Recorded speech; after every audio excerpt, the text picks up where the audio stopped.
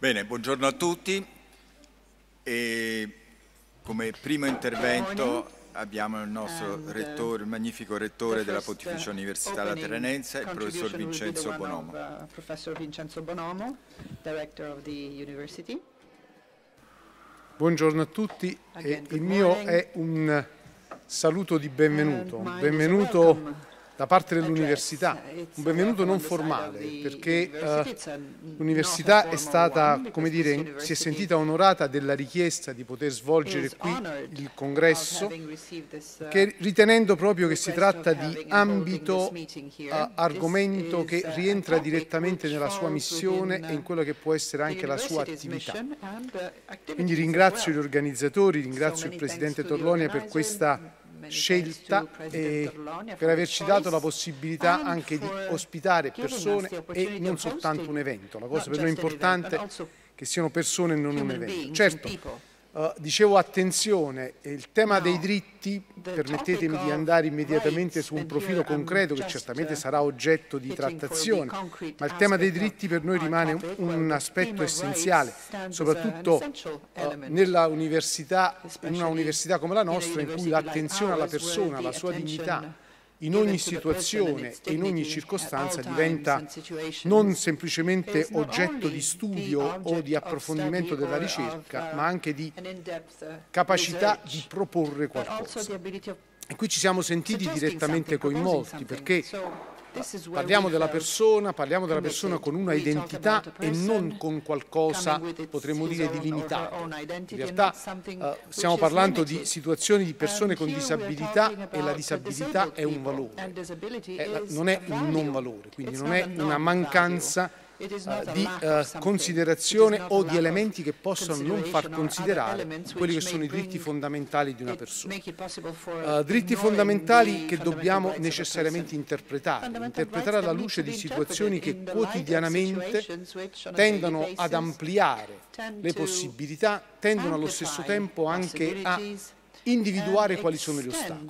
Credo che una delle questioni più importanti nel profilo dei diritti sia proprio quella di eliminare gli ostacoli e creare quella necessaria inclusione. uh, A volte è un termine che utilizziamo eh, senza dire, capirne effettivamente il significato, perché uh, l'inclusione non è anche qui un profilo formale legato ai diritti, l'inclusione è uh, piuttosto una capacità di partecipare pienamente ai processi e di esserne non solo destinatari, superando superando così quel tradizionale concetto di assistenza, per cui ecco, questo è un po' come dire, è stato un modo per of, uh, poter riflettere, almeno da parte mia, poter riflettere So proprio su come il tema della sindrome di Williams e le persone uh, che sono coinvolte in modo diretto o indiretto it rispetto a in a questa, questa problematica possono essere oggetto di un'attenzione diversa. Chiudo oh, questo piccolo saluto anzitutto augurandovi un buon lavoro, augurando che questo to convegno possa, congresso possa portare anche dei frutti dal punto di vista dell'attuazione pratica e concreta. E mi permetto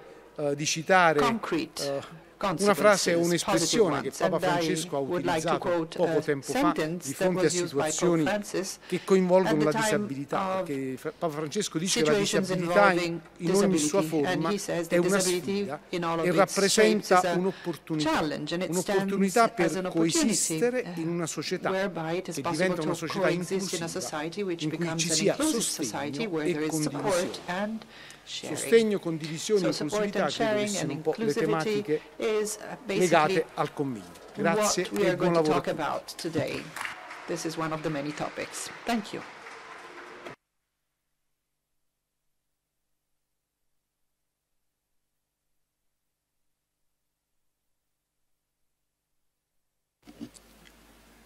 Innanzitutto ringrazio ancora professor let me thank Vincenzo Bonomo per le sue parole e l'ospitalità ricevuta nell'Università del Papa.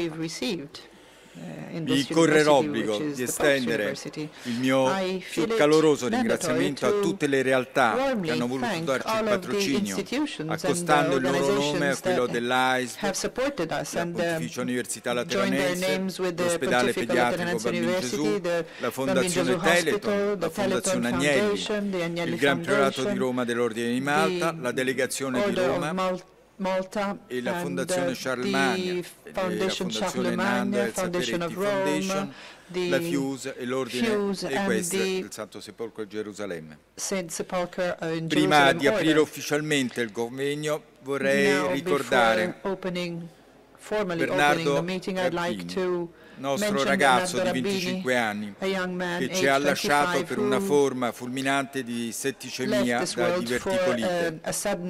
Uh, lo scorso maggio. to Tale tragico avvenimento è stato sprone per trattare questo was, argomento uh, all'interno dei lavori del convegno.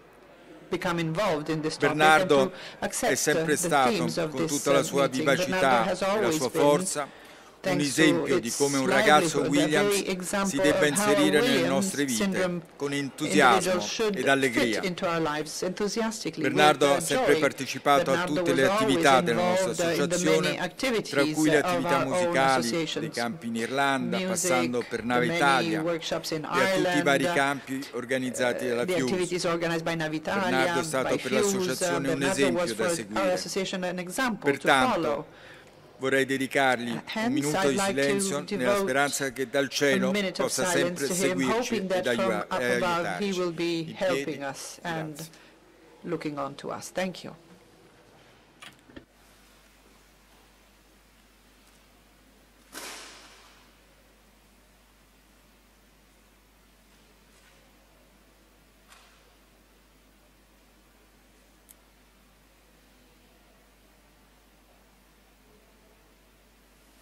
Grazie.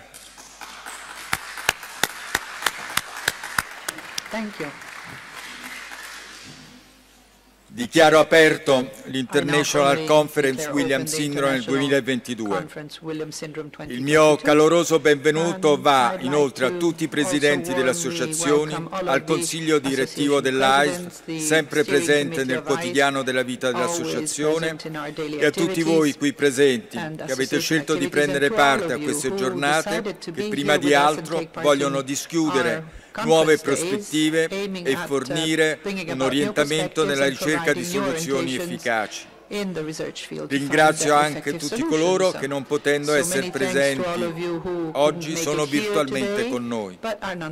uh, Il titolo del nostro convegno, International Conference Williams Syndrome 2022, 2022, racchiude il fine e il contenuto del nostro incontro.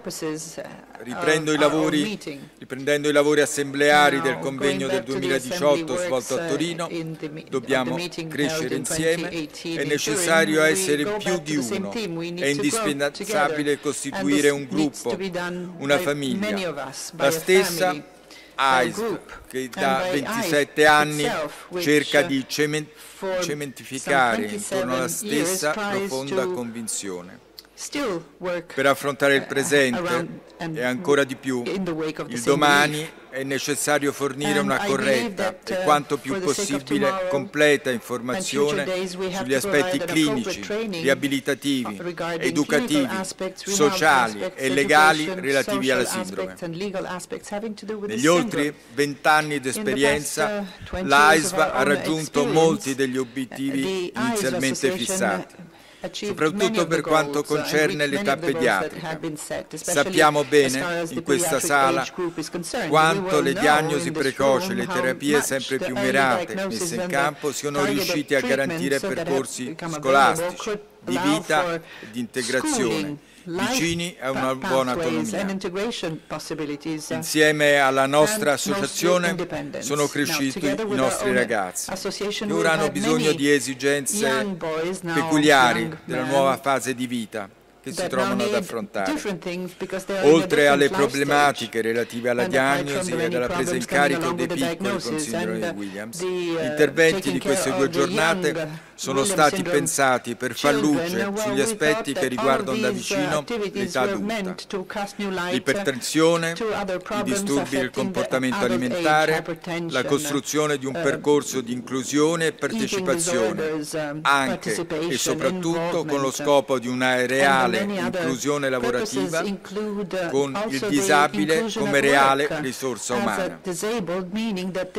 Le iniziative che hanno segnato negli anni la nostra attività sono state molteplici e spesso realizzate con il contributo e la vicinanza di realtà che sono cresciuti insieme a noi. Nonostante il forzato stop di questi anni dovuti alla pandemia al Covid-19, siamo riusciti a portare avanti alcuni nostri progetti, come Marinai con gli occhi a stella, e ringrazio sempre la Marina militare qui rappresentata, il Fuse Camp che quest'anno si è svolto in Norvegia. Non posso non ricordare nuovamente una nostra conquista davvero importante, la pubblicazione da parte dell'INPS delle linee guida sulla previsione di rivedibilità in caso di malattie rare. Questo grande passo in avanti verso una migliore qualità della vita per i nostri ragazzi e le loro famiglie. è giunto dopo mesi di incontri e colloqui tra noi e l'Istituto di Previdenza. Non voglio rubare assolutamente altro tempo ai lavori, dunque passo la parola all'ambasciatore d'Italia Kiev, Pier Francesco Zazzo, nostro consigliere nazionale e delegato dell'AISV presso la Federazione Europea William Syndrome. Grazie.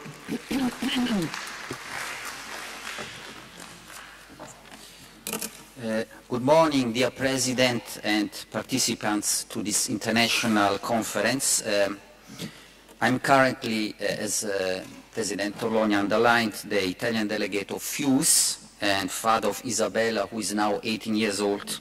FUSE is the European Federation of Williams Syndrome, the official association of uh, national organizations across Europe which are involved in supporting people affected with the Williams syndrome. The goals of FUSE is to spread the awareness of this genetic condition at European level to ensure an effective coordination between the national Williams syndrome organizations in Europe wants to promote a sharing of experiences, best practices, and know-how uh, regarding the Williams syndrome.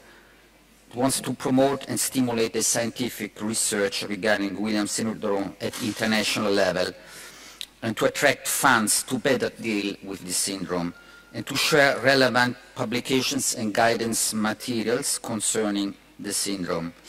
We are therefore very grateful uh, for this initiative of the Italian Association of William and thankful particularly to President Torlonia for having taken this initiative to organize this international conference on the William syndrome with the participation of highly qualified researchers and experts from all over the world.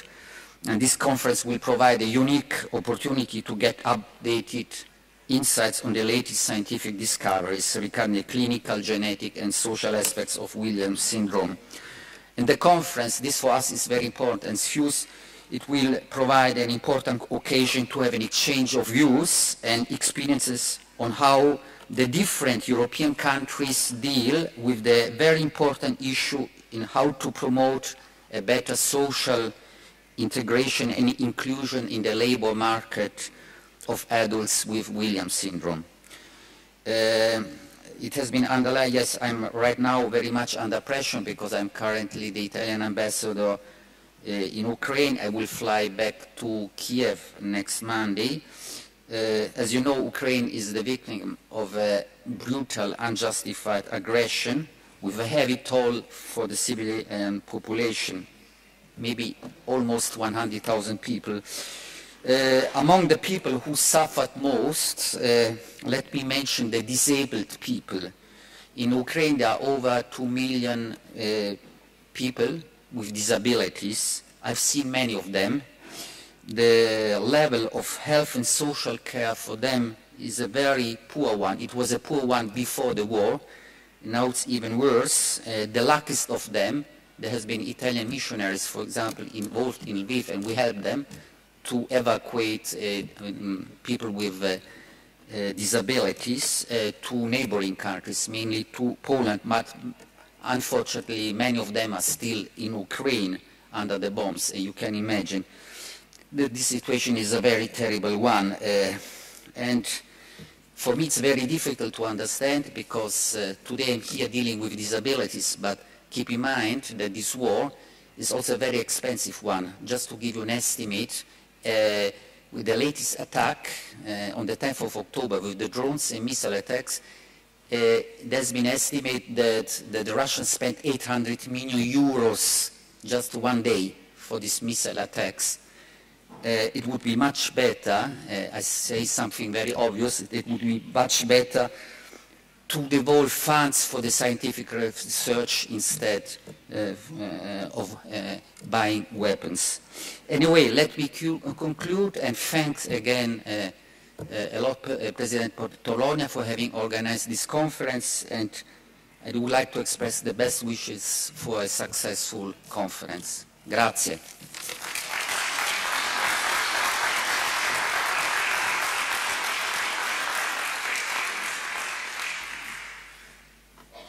Passo la parola al professor Bruno Della Piccola. hand over to Professor Bruno Della Piccola.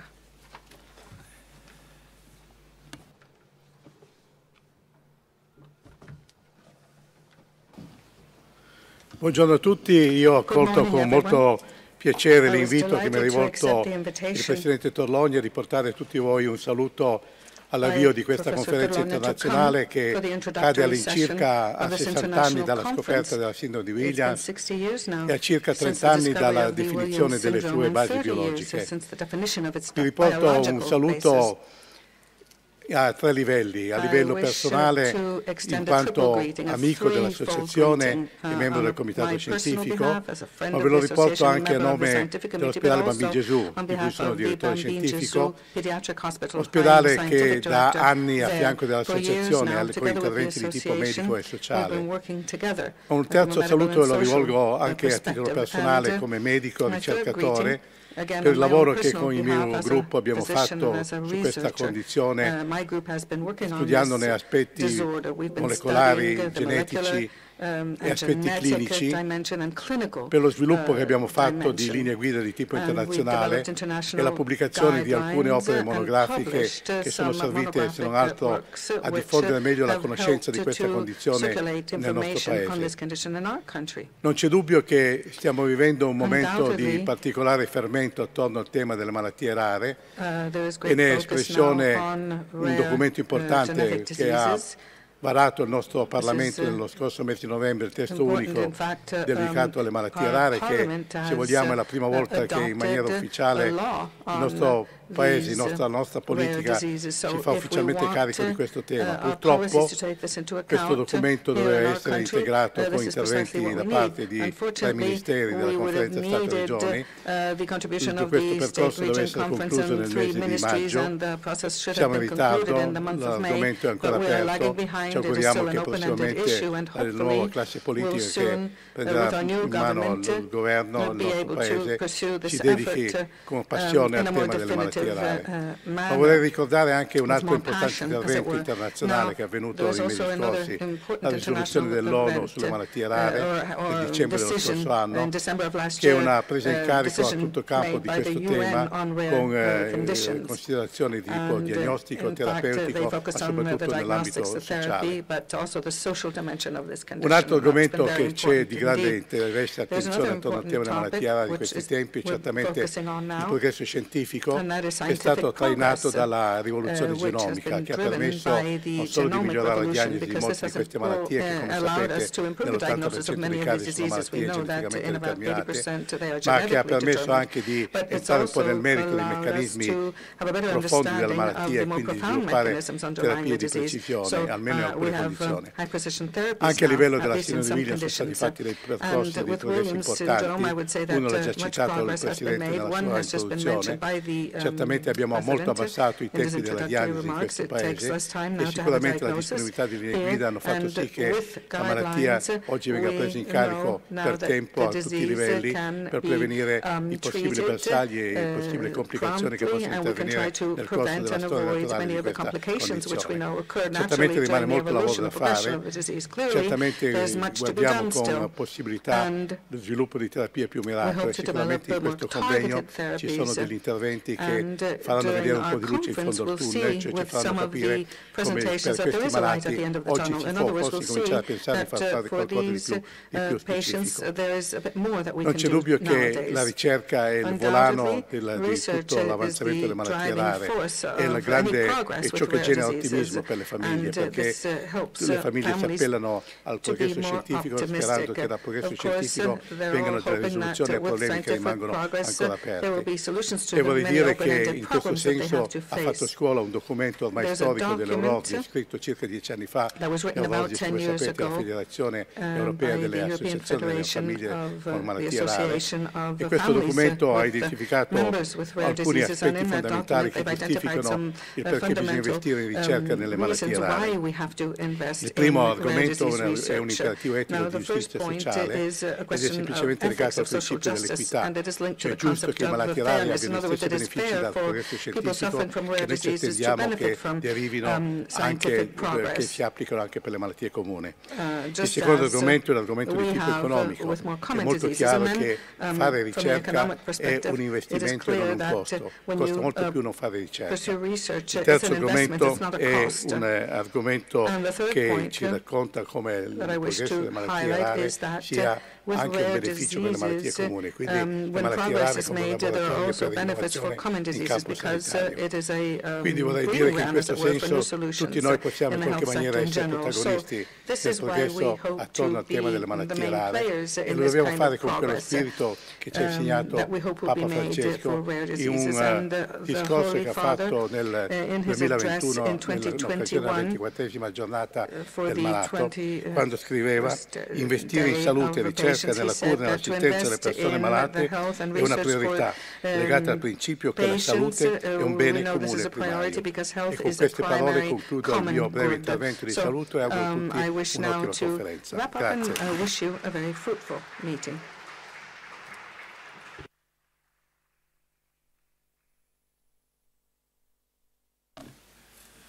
Ringrazio il professore Della Piccola. Thank Adesso passerei la, eh, Um, Um, Chiamerei il professor Giuseppe Merla dell'Università Federico II, from the Federico II University.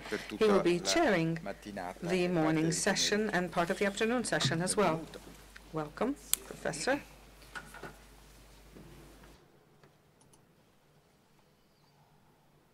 Grazie. Allora, buongiorno a tutti. Good morning, everyone. Grazie di essere mm, tutti qui presenti. Il mio saluto va anche a chi è collegato da, da remoto. Allora, Giusto due parole sul sottoscritto. Io sono Giuseppe Merla e una, dire, una, relazione con la sindrome di Williams da circa vent'anni. Studio la Williams appunto da, dal mio rientro in Italia. Fu uh, preso dalla piccola volermi a San Giovanni Rotondo per studiare questa sindrome, quindi mi fa un immenso piacere diciamo, rincontrarlo ancora una volta a parlare di sindrome di Williams. Allora, abbiamo una giornata abbastanza piena e quindi io diciamo, inizierei subito con le presentazioni, giusto qualche comunicazione di servizio, eh, ci saranno delle presentazioni in inglese e delle presentazioni in italiano, ma abbiamo il sistema di traduzione simultanea, per cui non dovete preoccupare. e chiederei appunto agli speaker, ne abbiamo già parlato, di eh, prendersi appunto il tempo a loro dedicato, um, lasciando però qualche minuto alla fine di ciascun uh, intervento per un paio uh, di domande. e quindi io diciamo, non perderei molto tempo a ulteriore chiamerei quindi um, la, la dottoressa Beth Kozel so dottoressa Kozel please reach the, the stage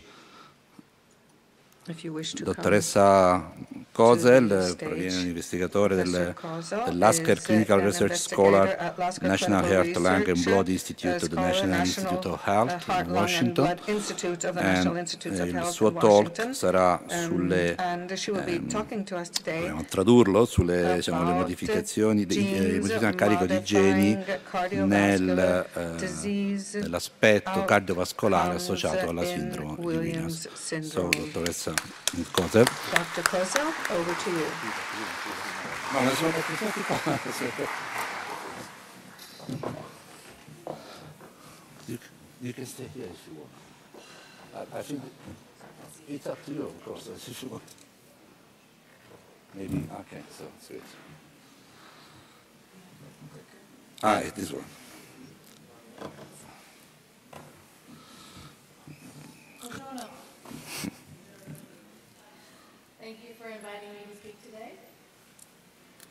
My name is Beth Kozel. I am a researcher at the uh, National Institutes of Health in, in Washington, D.C. I also run a... The microphone. That was which microphone? Better? Okay. Uh, so my name is Beth Kozel. I run a research laboratory at the National Institutes of Health in Washington, D.C. And then I also run a Williams syndrome clinic to take care of patients with Williams syndrome in St. Louis, Missouri, also in America. My work is on um, all aspects of Williams syndrome, but we primarily focus on cardiovascular disease.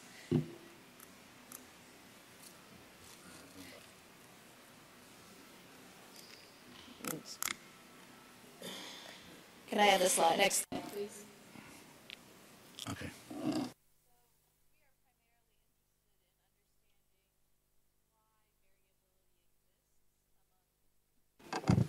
Sorry, it keeps going off. Um, of, among people with Williams syndrome. So we understand that some people with Williams syndrome have very severe complications of the condition, while other people are more mild. However, all of the gene changes that cause Williams syndrome for most people are the same. And so we want to understand what sort of second findings um, are responsible for those differences. We started by studying the changes in DNA. Sorry. Can you go back a slide, please? Thank you. Um, some of the changes in, in DNA in individuals with, uh, with a condition that had sort of unusual features of the condition. And when we looked, we said around 95% of people have the same size 1.5 to 1.8 megabase deletion, but there were about 5% of people who had changes in their DNA that were bigger. Some of them extending to one end of the chromosome and some of them extending further to the other side. Can you go forward one, please? When the deletion size was larger and extends towards the middle of the chromosome, we saw that individuals with this deletion had atypical features of Williams syndrome, including having small head size, even smaller than is typical for people with Williams syndrome. They often have decreased speech um, and more frank autistic features some abnormalities on their neurologic exam, which we call spasticity, where the limbs are a bit more tight. And one thing that we've seen more recently in multiple patients who have atypical deletions expend, extending towards the, the centromere or the middle of the molecule is a change with very severe reflux to the extent that we have had individuals have adhesions in their esophagus or Barrett's esophagus, which are extreme uh, manifestations of the condition. Some of this may be attributable to the fact that most of the individuals who have these atypical deletions are nonverbal um, and are not as able to communicate um, their discomfort. Go forward one slide. Thank you. Um, in addition, we have individuals who have deletions that extend to the, the other end, so towards the, the tail end of the chromosome. We see that individuals here also have more autistic features. If the deletion is big enough, it can also extend um, to the MAGI or MAGI2 um, gene, and those individuals tend to have fairly severe seizures in infancy. We can see different heart anomalies than we usually see in terms of SVAS, um, and sometimes some genital abnormalities. We believe that the genital abnormalities can be associated with deletion of the POR gene um, at this end, so that's not in the typical deletion but on the outside, um, which can have hormone differences. Um, some people who have changes in this gene that affect both copies of the gene have a condition called Antley-Bixler, um, which does affect um, genital function. In this case, we see intermediate lab values um, between Antley-Bixler and what would be in the typical population. Um, and we think that, that sort of, those sort of intermediate values can contribute to some of the more mild genital differences that we see in this group. Next slide, please.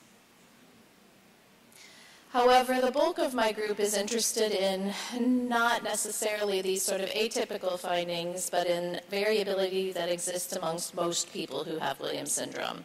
So when you look at cardiovascular disease in particular, we see that um, supravalvular aortic stenosis, which is the, the sort of cardiovascular feature of narrowing of the aorta that is sort of pathognomonic for, for Williams syndrome, um, happens in around 60% of people with the condition. So 40% of the people don't have any stenosis at all, while around 20% of individuals have such severe stenosis that they require surgery um, in order to survive infancy.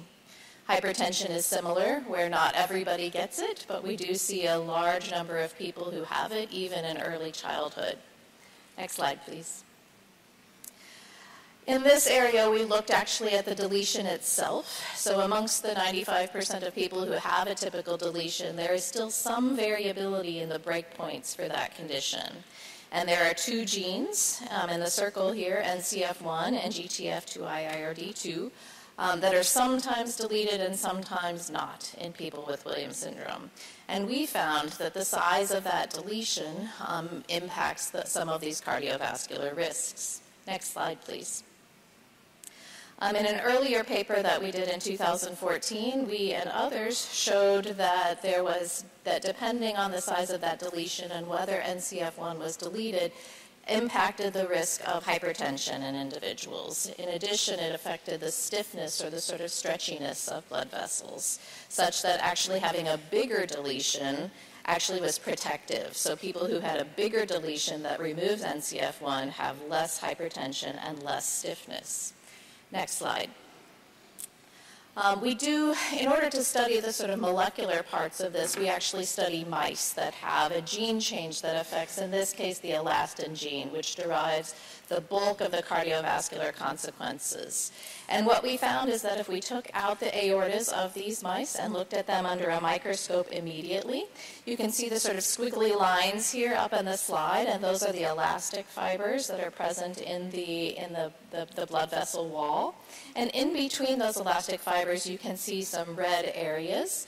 Um, and that is a stain that we use that shows evidence of oxidative stress, so reactive oxygen species that are happening. When we take that same vessel and culture it in a system so that there's no flow on the vessel wall for a period of time and then look, we no longer see that increase in, in oxidative stress that happens. And so we think that what happens in that case is that as your blood is coming out of your heart and through the tube, which is the aorta, it brushes up against the aortic wall. And when it just goes in one direction, that's fine. But when it goes back and forth, it creates what's called sort of oscillatory flow. And that back and forth leads to the presence of these sort of oxidative stiffness markers. Can you click on the image for the, um, in the middle there? We can make the video go. Here you can see a high, um, high rate um, echocardiogram, and what I hope you can see is that in this case, um, the blood just went forward. You could sort of see a sphere in the, or a, a set of white moving in the arch that goes in one direction. On the next one, if you want to hit the image on the right, you can see the aortic arch is a different shape and you can see the blood moving forward. And then there's a period of time where you can actually see it move backwards. I think with the slide moving, we can't see all of the pictures, but there is that sort of oscillatory flow. Um, next slide, please. In that case, what we see when we actually test these in mice is that we see that the elastin heterozygous mouse, which is similar to Williams syndrome, when we give medications to those mice to cause their blood vessels to constrict, the elastin heterozygous ones, or the Williams-like ones, actually constrict more. However, if we put both mutations in place, both the elastin change and the NCF1 change, that overconstriction doesn't happen anymore. Next slide, please. And so what we think is happening is this. In a regular blood vessel that is open, um, blood flow goes through nicely. You only have blood flow in one direction. You don't get that oscillation. You don't get ROS production. Um, and you don't have hypertension. But in the elastin heterozygous um, mouse and in people, we think that the blood vessel is narrow and stiff, um, and the blood goes through, and because of the abnormal shape and flow, you get a back and forth flow that leads to the oscillations, which leads to ROS production. That ROS production then signals forward to create hypertension. But in people or mice uh, that don't have that extra NCF1, that forward step from um, oscillatory flow through ROS can't work because you don't get the ROS signaling.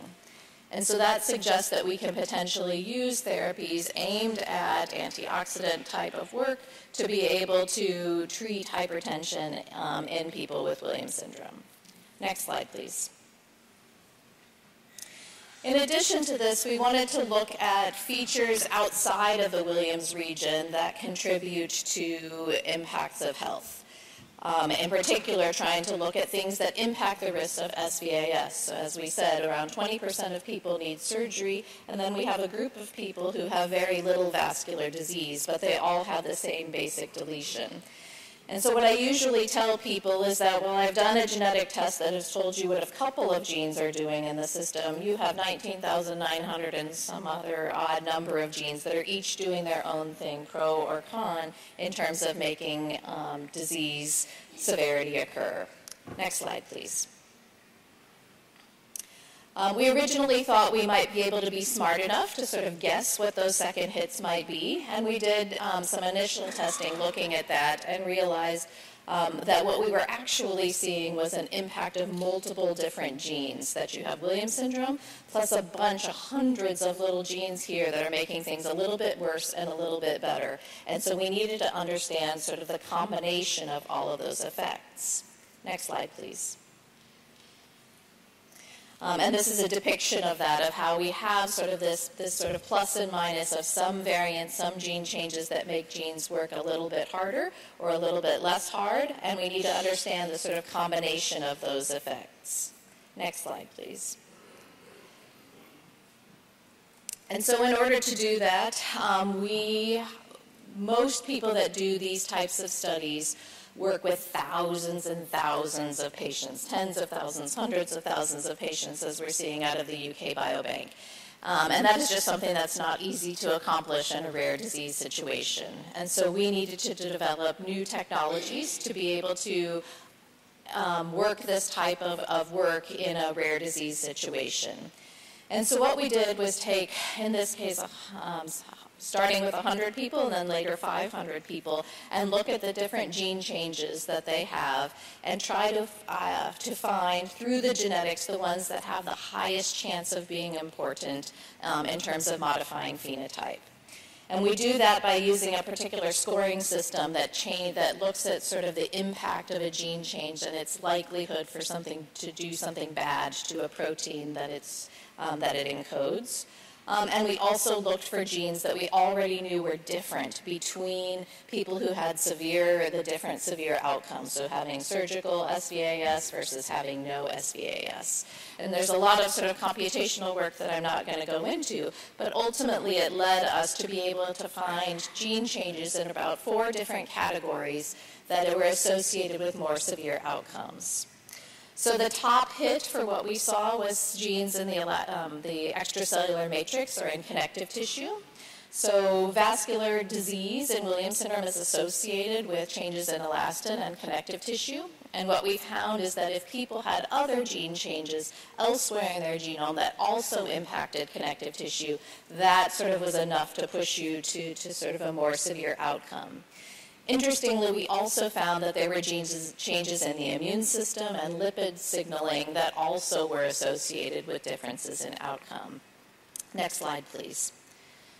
We've recently repeated um, this work in a, um, a shared um, experiment across five, with 500 individuals with Williams syndrome um, from multiple different groups, including people in this room that contributed to those studies um, and found replication of our earlier study.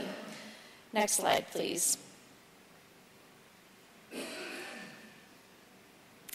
And this allows us to be able to target new areas of research to understand severity of outcome um, for vascular disease in people with Williams syndrome. And so in this case, we're doing some work in the laboratory with our animal models, trying to look at the role of the immune system um, and, and inflammation as it relates to outcomes in terms of disease. In this particular experiment, we took a mouse model that um, has elastin insufficiency and gets um, stenosis, um, similar to supravalvular aortic stenosis, um, and bred it to another mouse that does that has changes in terms of its immune system, such that it doesn't make certain um, white blood cells. And what we found is that those the cells, uh, the mice that just have the, the Williams change, ultimately get stenosis and pass away. But if you also don't have the immune system, they actually pass away much earlier. Um, and so that allows us to start to be able to understand this sort of interaction between the cardiovascular system and the immune system. And that's really powerful because we haven't yet figured out how to change the connective tissue piece, but modifying the immune system um, might be something that we can target in terms of understanding vascular disease better. Next slide. Um, more recently, and just to sort of touch on this, uh, we published a paper looking at a review, or doing a review looking at how the elastin gene is made. Uh, because some of the work that we are doing now is in trying to understand how the elastin gene is turned on such that we could have the potential to be able to, to, to, to modify it ourselves. And we have been able to find a new region um, based on studying several patients who have atypical deletions um, that may tell us a little bit more about that on-off switch for the elastin genes, such that we may be able to, with further research, be able to, to sort of flip that switch back on at a later time. Next slide, please. Um, so in conclusion for this section, I just wanted to say that our, our work is primarily focused on variation in people with, um, with Williams syndrome and trying to understand how changes in genes, either within the, elast- the Williams region or outside, can impact health. We think we've been able to identify changes within the region and outside the region that, that impact outcomes, and we're starting to target those um, in mouse and models to be able to understand um, and to sort of create medications that we can bring back into people. One more slide, please. In a very last minute here, I just wanted to talk about a paper that we had that was just accepted last week that I'm very excited about. Um, this is a study that we did looking at uh, not genetics, but at cardiovascular outcomes related to health. Um, one of the physicians, or many of the physicians that take care of people with Williams syndrome, notice when we do vital signs in people with Williams syndrome that heart rates are always up. Um, and so we always say, oh, you know, they're at the doctor, they're anxious about, about having been here. Uh, but when we study heart rate um, using monitors where we have people wear them for, for multiple days, we see that that heart rate is always up. So it's up during the day, the heart rate is actually up during the night um, as well. Um, and doesn't have the normal sort of periodicity that we would expect and, and usual with people um, in the world. Next slide, please.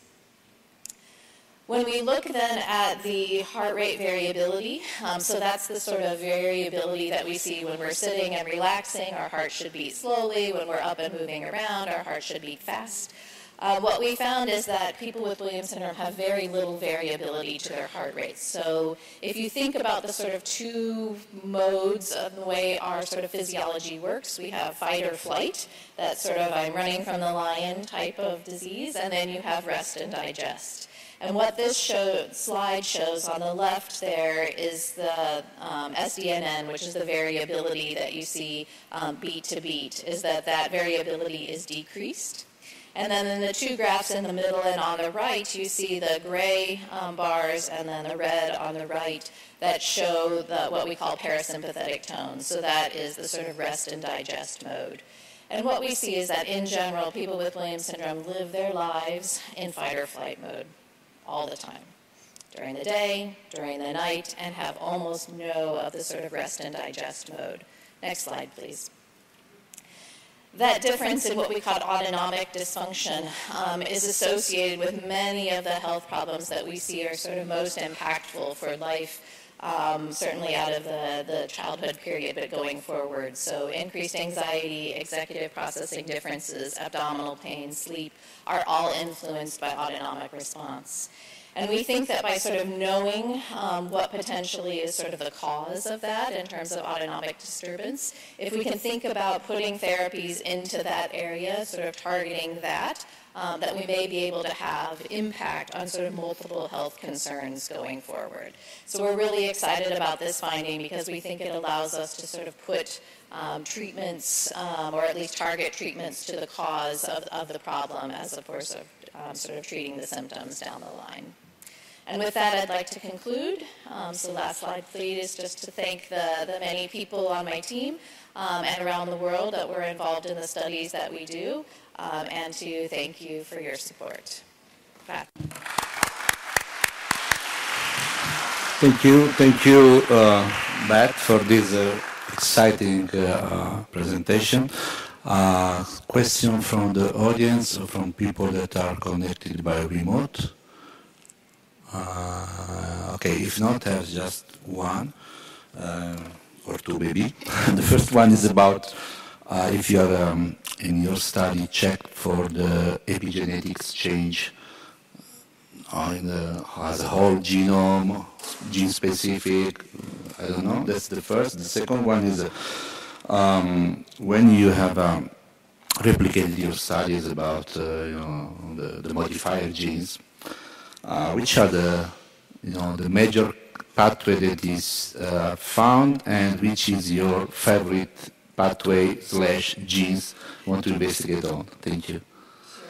So in terms of epigenetics, so epigenetics are sort of a coding uh, that is put on DNA that influences, sorry, genes.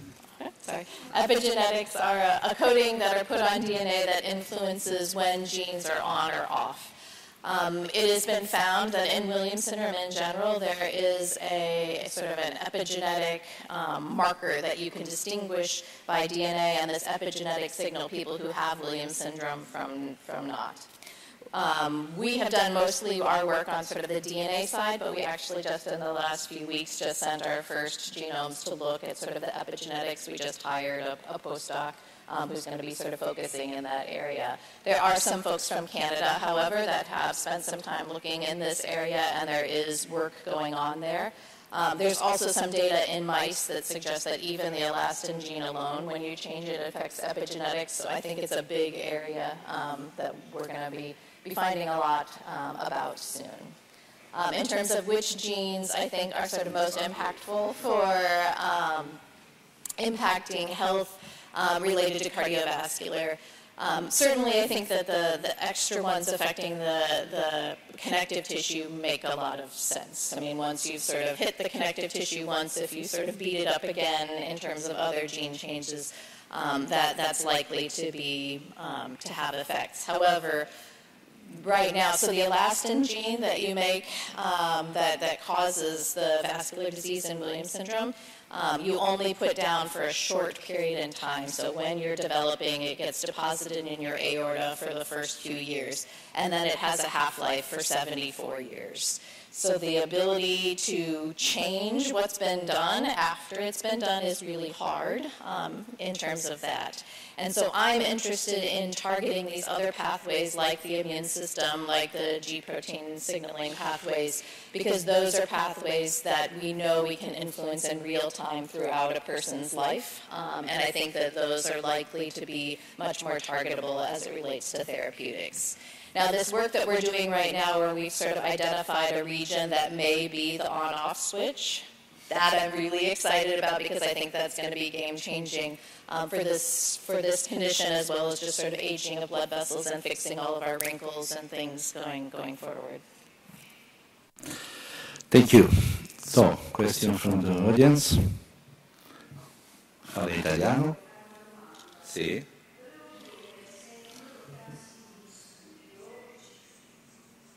So,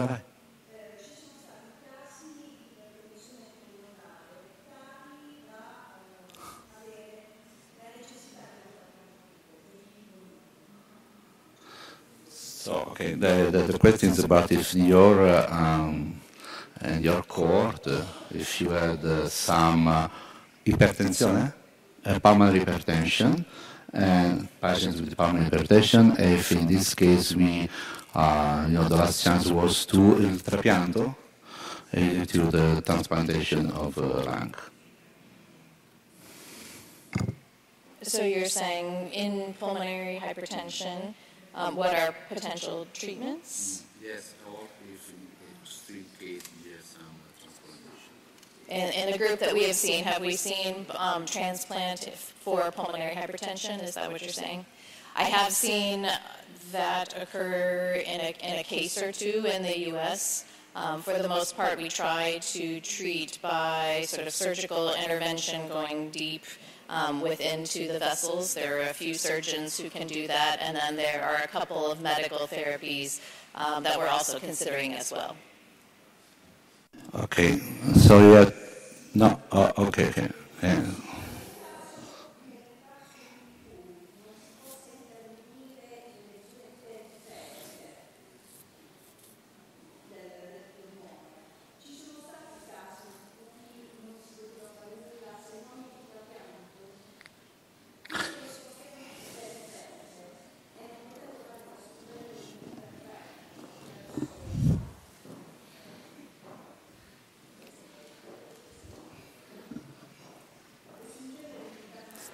No, ho capito.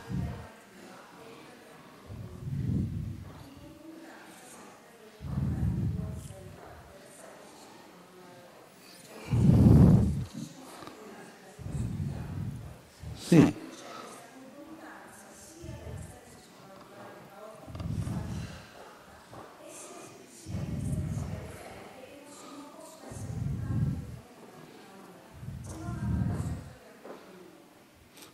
Capito la domanda, il punto è che diciamo, possiamo andare avanti, magari la, chiediamo in separata sede, perché sennò ognuno di noi ha il caso personale. Ho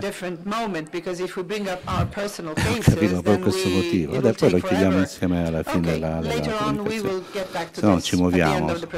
Ok, so we can move to the next speaker. Uh, so the next speaker is about is a, a professor, doctor, doctor, no, professor. is Professor Boaz Barak, comes from Sakal School of Neuroscience and the School of Psychological Science, Tel Aviv.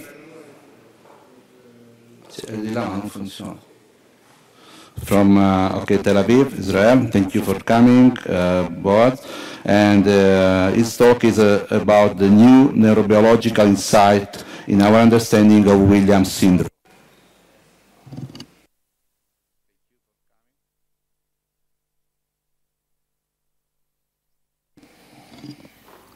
Okay, thank you very much. Uh, buongiorno, everyone. Uh, thank you, everybody, for the organization and organizing this great talk. I think it's super important for us to meet the parents, the families, the individuals, and meet other researchers because it's highly important to be connected, especially nowadays. As people mentioned here, there's no funding, no basic research on neurodevelopmental disorder as should be, so it's great to be here. Um, so my lab in Tel Aviv University is focused on Williams syndrome. Um, we discovered a big finding on myelination deficits, and I would like to explain to you what are our basic findings and how we translate it into clinical trials. So as we know, the prevalence of Williams syndrome is about to 1 to 10,000 successful births.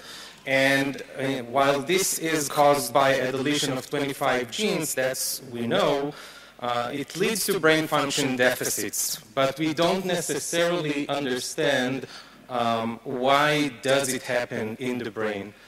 I'm not sure this works well. Okay, now it works.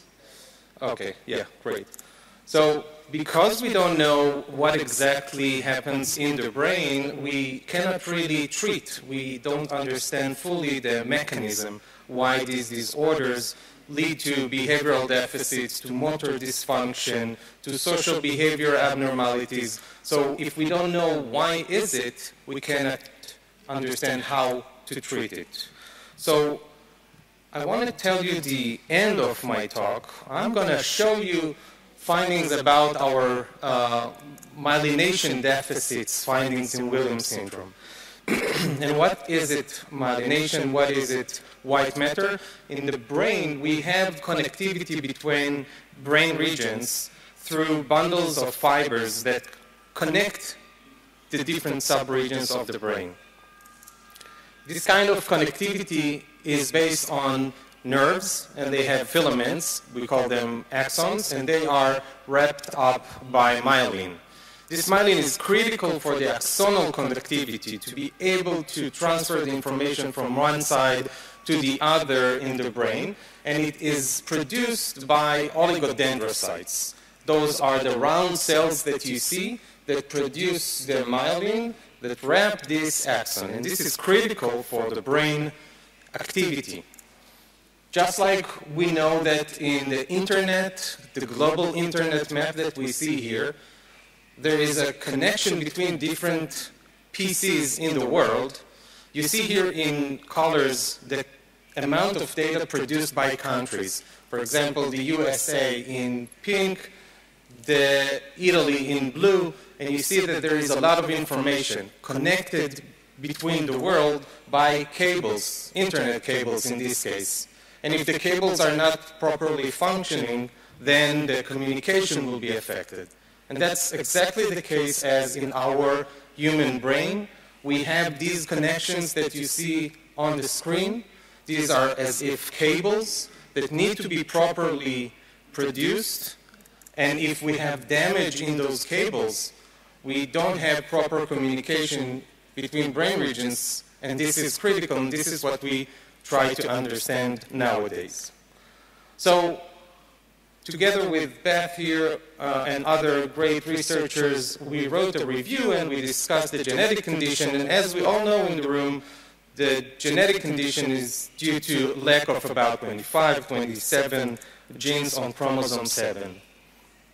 And many genes were found, uh, were found to be related to the different pathologies, as Beth showed with the Elstein, for example, on the cardiovascular aspect, but one gene, GTF2I, is the gene that we know from before that is related to the hypersociability that we are familiar with in Williams syndrome.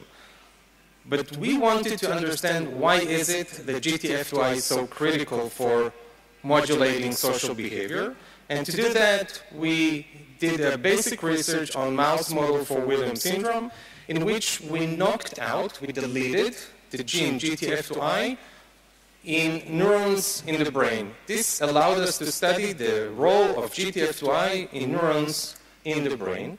And what we have found is that this mouse model is good enough to model what we know that is critical in the pathology of Williams syndrome, hypersociability, and others, as I'll show you now.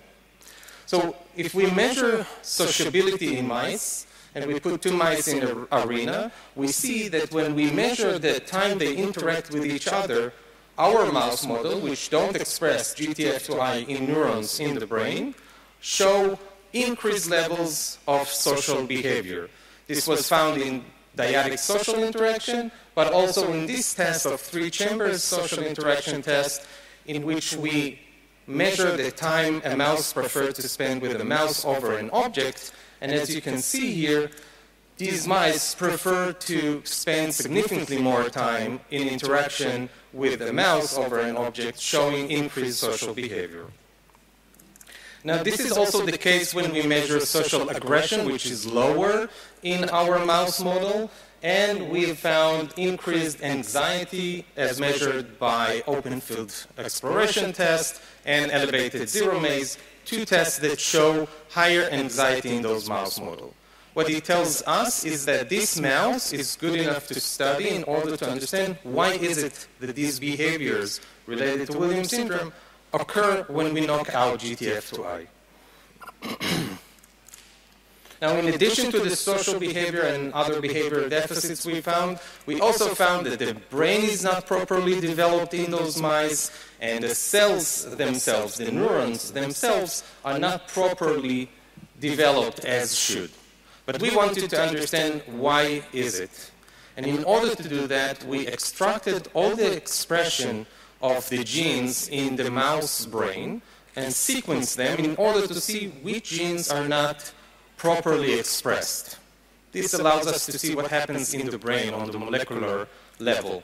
And what we found is a list of a lot of genes that are not properly expressed. Their mRNAs are not properly expressed.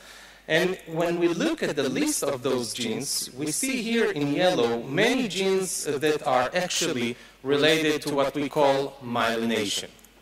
70% of the genes that were downregulated in their expression in the mouse brain, the mouse model for Williams syndrome, were related to myelination. And why are we so excited about that? Myelination, as we said, is critical for this transfer of information along the neuron. The, the brown layer that you see here improves the conductivity. It allows the electrical signal that you see here in blue to run faster and more efficient along the axon. And when you don't have proper myelination, that will affect your brain activity. And as we dive here in the mouse brain, we see here a lot of neurons connected with a lot of fibers, and these are covered by myelin. And as you see, you see now the connection between the two hemispheres, the two sides of the brain. And when you don't have proper myelination, as we found, this whole connectivity will be affected and will affect the brain function. So this myelin layer that you see wrapping the axon is produced by oligodendrocytes. And we can say that this is just like an electrical cable. You see here the axon in blue, wrapped by myelin, produced by oligodendrocytes. And what we found is that it's similar to the fact that you don't have proper isolation on electrical cable. But we wanted to understand why is it that this is the case and that we have myelination deficits. And to do so, we studied the neurons and the oligodendrocytes, those cells that produce the myelin. And when we quantified the number of oligodendrocytes in the mouse brain, we found that the deletion of GTF2I led to reduced number of those cells that are critical to produce the myelin. The fact that we have less cells that can produce myelin affected the thickness of myelin, the structure of myelin, which is critical for the function. And we see that the percentage of axons that are myelinated in the mouse brain is lower when you have GTF2I deleted from neurons. And the thickness of the myelin itself is thinner. As you can see on the narrow image, you see that the myelin thickness is affected. So if we know that genes related to myelin are affected, cells that produce myelin are affected, and the structure of myelin is affected, we wanted to test whether this is also related to functional aspects. So we measured the electrical activity in the mouse brain, by measuring the time it takes for a, an electrical signal to run through the bundles of myelinated fibers. And we found that indeed the myelination deficits lead to abnormal electrical activity and less information is transferred and it takes longer time for the information to get to the other side of the brain. Now, there are motor skills, motor functions that we have that are dependent on this finding of axons that are properly myelinated. From the cortex to the spinal cord, we have axons with a lot of myelin. And if you have myelination deficits, you might have fine motor skills and gross motor skills deficits. So we assess that in a mouse and we found that indeed the myelination deficits we found lead to higher error rate on tests related to motor skills. And in addition to that, the gross motor skills, the, the strength of muscles is also affected by myelinated axons. And when we measured that, we found reduced grip strength in forelimbs and hind limbs of mice which are mouse model for Williams syndrome. So all of that suggests that GTFTI in the neurons is critical for the development of myelination, and that's summarized here in a nice uh, news and views made by uh, Chen. But the question is whether we can treat this kind of myelination deficits, first in mice.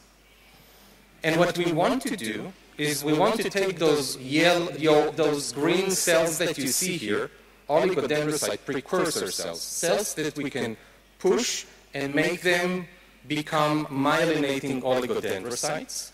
Because if we will do that, we will increase the production of myelin, which is what we want in, in Williams syndrome. And indeed, there is an FDA-approved drug. This is super important, especially for this audience. This is an FDA-approved drug shown to promote the differentiation of oligodendrocyte precursor cells into myelinating oligodendrocytes. So we tested clemastine for two weeks on mouse models, and we found that the number of myelinating oligodendrocytes is now normalized in two different brain regions, meaning that we, we were able to rescue the production of those cells. This led to normal thickness of the myelin, finally, and the normalization of the myelination properties led to normal social behavior. Now these treated mouse models for Williams syndrome are not showing hypersociability, but they show normal levels of social behavior. But you didn't come to hear about mice, and we are all here in order to help the families, the patients. And we did similar studies on human samples. And in human samples, what we found is that when we take the frontal cortex of individuals with Williams syndrome, we could see that also in human patients, in a post-mortem tissue, we found reduced thickness of myelin, reduced number of myelinating cells, those cells that produce the myelin, just like we saw in the mouse model, and abnormal expression of genes related to myelin. This means that the findings from the mice are relevant to humans. And this is why we are now focused on humans in a clinical trial we run nowadays.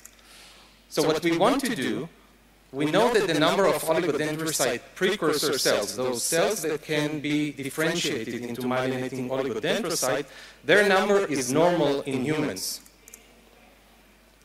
And we know that the number of myelinating oligodendrocyte is lower.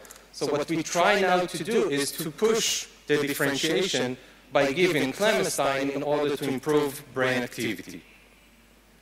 So nowadays we run a clinical trial giving clemastine in Sheba Medical Center in Israel in collaboration with Professor Doron Gotthelf, who is a physician who studies and treats Williams syndrome, and we will give clemastine for about three to six months uh, and follow up and see improvement in physiological and neurocognitive aspects, giving clemastine fumarate in the same dosage as was found to be safe in kids and adults for um, the administration that was given until nowadays. And this is in a group of researchers and clinicians that are focused on the cardiovascular aspects, movement disorders, and cognitive aspects. And indeed, we validated in, uh, in our clinic, we found that one patient that we measured indeed show motor skills deficits on a gait right, which is a special carpet that when you walk on it, you can see motor deficits which are known to be affected by myelination also. And we found that this kid indeed have uh, deficits when we measured it. Hopefully, we will be able to improve motor and cognitive aspects given the clemastine in a clinical trial. So in the last two minutes, I would just like to add more information on just three main studies that we do in the lab. We have more studies that we do, but due to time limitation, I want to show you information about a topic that was raised here uh, before, epigenetics. So we did epigenetic studies on human tissue samples, the same samples that we described for the myelination uh, deficits. And interestingly, what we see is that there are a lot of epigenetic modifications that can explain the pathology. So epigenetics, as Beth also explained, are modifications that you can do on the DNA in order to silence genes.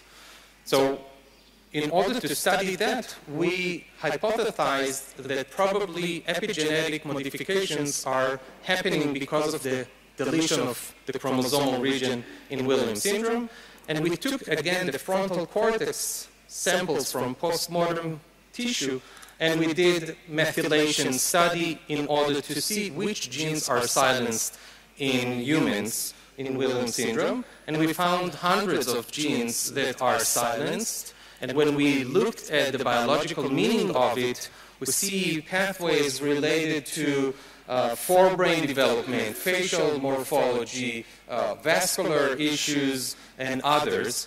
And uh, biologically, it means that we can understand better why some of the biological processes are inhibited in Williams syndrome. In addition to this epigenetic study on humans, we have a lot of studies on Williams syndrome mouse model in the lab, including those that related to white matter deficits that we um, established and defined in a publication recently published. We also study the effect of GTF2I in myelinating oligodendrocyte. We study microglia in Williams syndrome, which is uh, these are cells related to the immune system, and we see higher activation in the brain of Williams syndrome. And we see severe effect on the mitochondria, which is the energy source of the cells in Williams syndrome, in mouse models, but also in human patient samples that we characterized. So to summarize, I showed you basic research evidence from mouse model for Williams syndrome, but also how it is translated into human studies and clinical trials. And with that, I would like to thank again uh, the organizers and my lab members and the funding agencies, which are becoming less and less prevalent nowadays with the focus on COVID-19 basic research. Uh, and I would like to give you the contact information. If someone is interested in being in touch with us, we will be happy. And I would like to show you this great picture.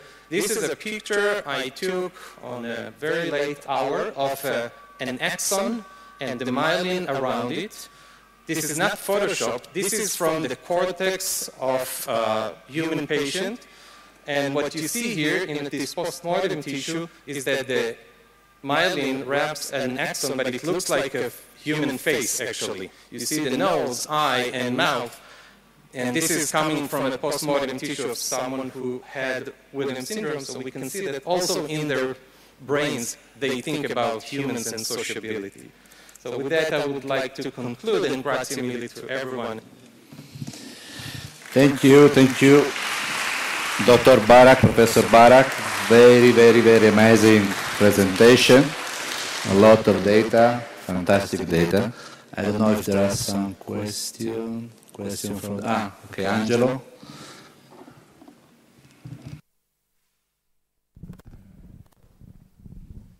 So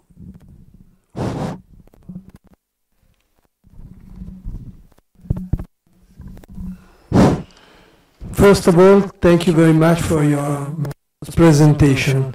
I have a couple of questions. First uh, is, uh, uh, we have learned that uh, one copy of the gene causes this uh, hypersocial behavior.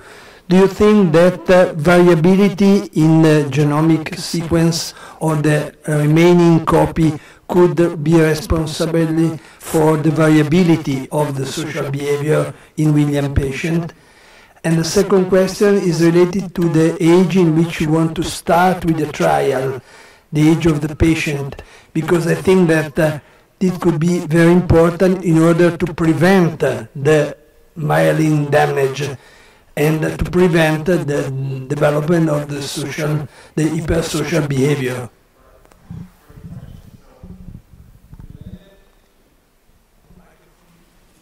Great questions related to the first question. In the mouse model that I presented, we knocked out, we deleted the two copies of the GTF2I because this is a great way to show when you don't have any of the gene at all.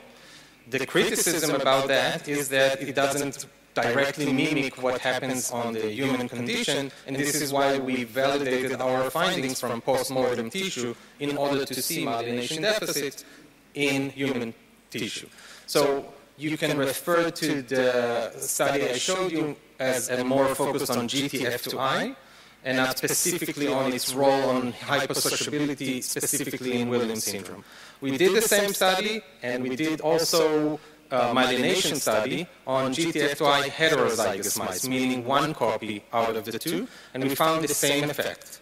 We have hypersociability and we have myelination deficits, but in order to fully study it, we knocked out both of them. Lucy Osborne and many others are doing such similar studies, and we know that when you have half or no GTF2I, it will affect the uh, spectrum of the hypersociability, no doubt. And we also see it in patients. We see a, a different level of hypersociability. As for the second question, specifically, and in this study in Israel, we're going to study from the age of six years and above. This is because of the safety regulation and in order to get the approval and so on. I fully agree with you, and you know much better than me that if we will start treating as early as possible, it will be much better because myelination occur in the human mainly after birth and mainly in the first 17 years or so. The peaks later are much less dramatic. So as early as we can and start giving clemastine to patients, that will be uh, safer, but we want to start first with the school age and above. So we're going to focus on 6 to 40.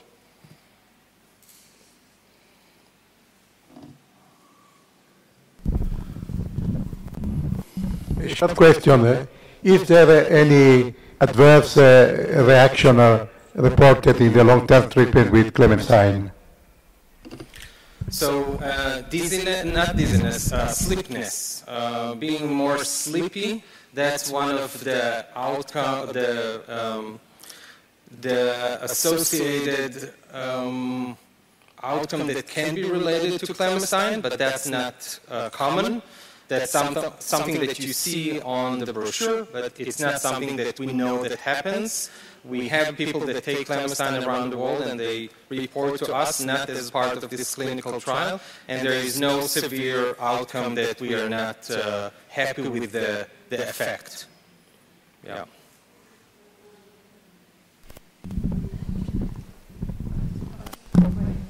Uh, just now two questions. First of all, uh, can you tell me exactly what is this clemastine? Just, uh, I'm not a, a physician. And secondly, if there are other drugs which can improve the myelination deficits.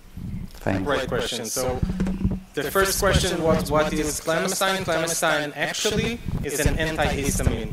It's something that you can take over the counter because it's FDA approved. It was focused on being as antihistamine, but Professor Jonah Chen from UCSF discovered by mistake that it also improves the differentiation of oligodendrocyte precursor cells into myelinating oligodendrocytes.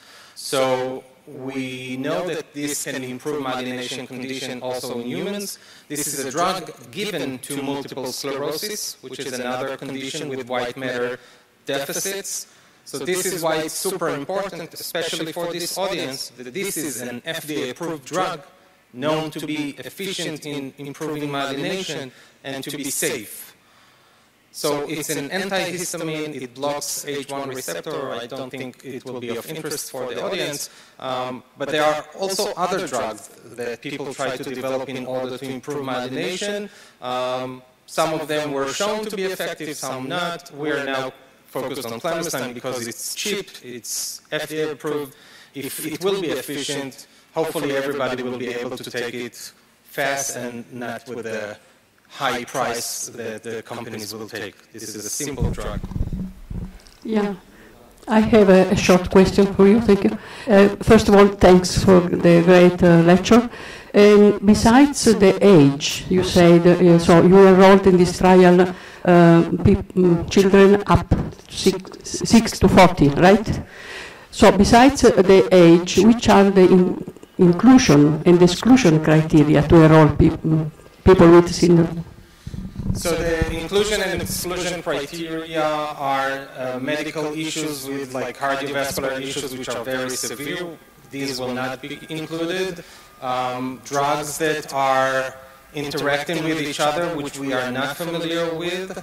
Um, so there are the main exclusion criteria would be cardiovascular issues but not something else. Um, if there is an epilepsy or something like that, um, of course it will be also excluded, but the main cardiovascular issues. Okay, thanks. Thanks a lot. Allora.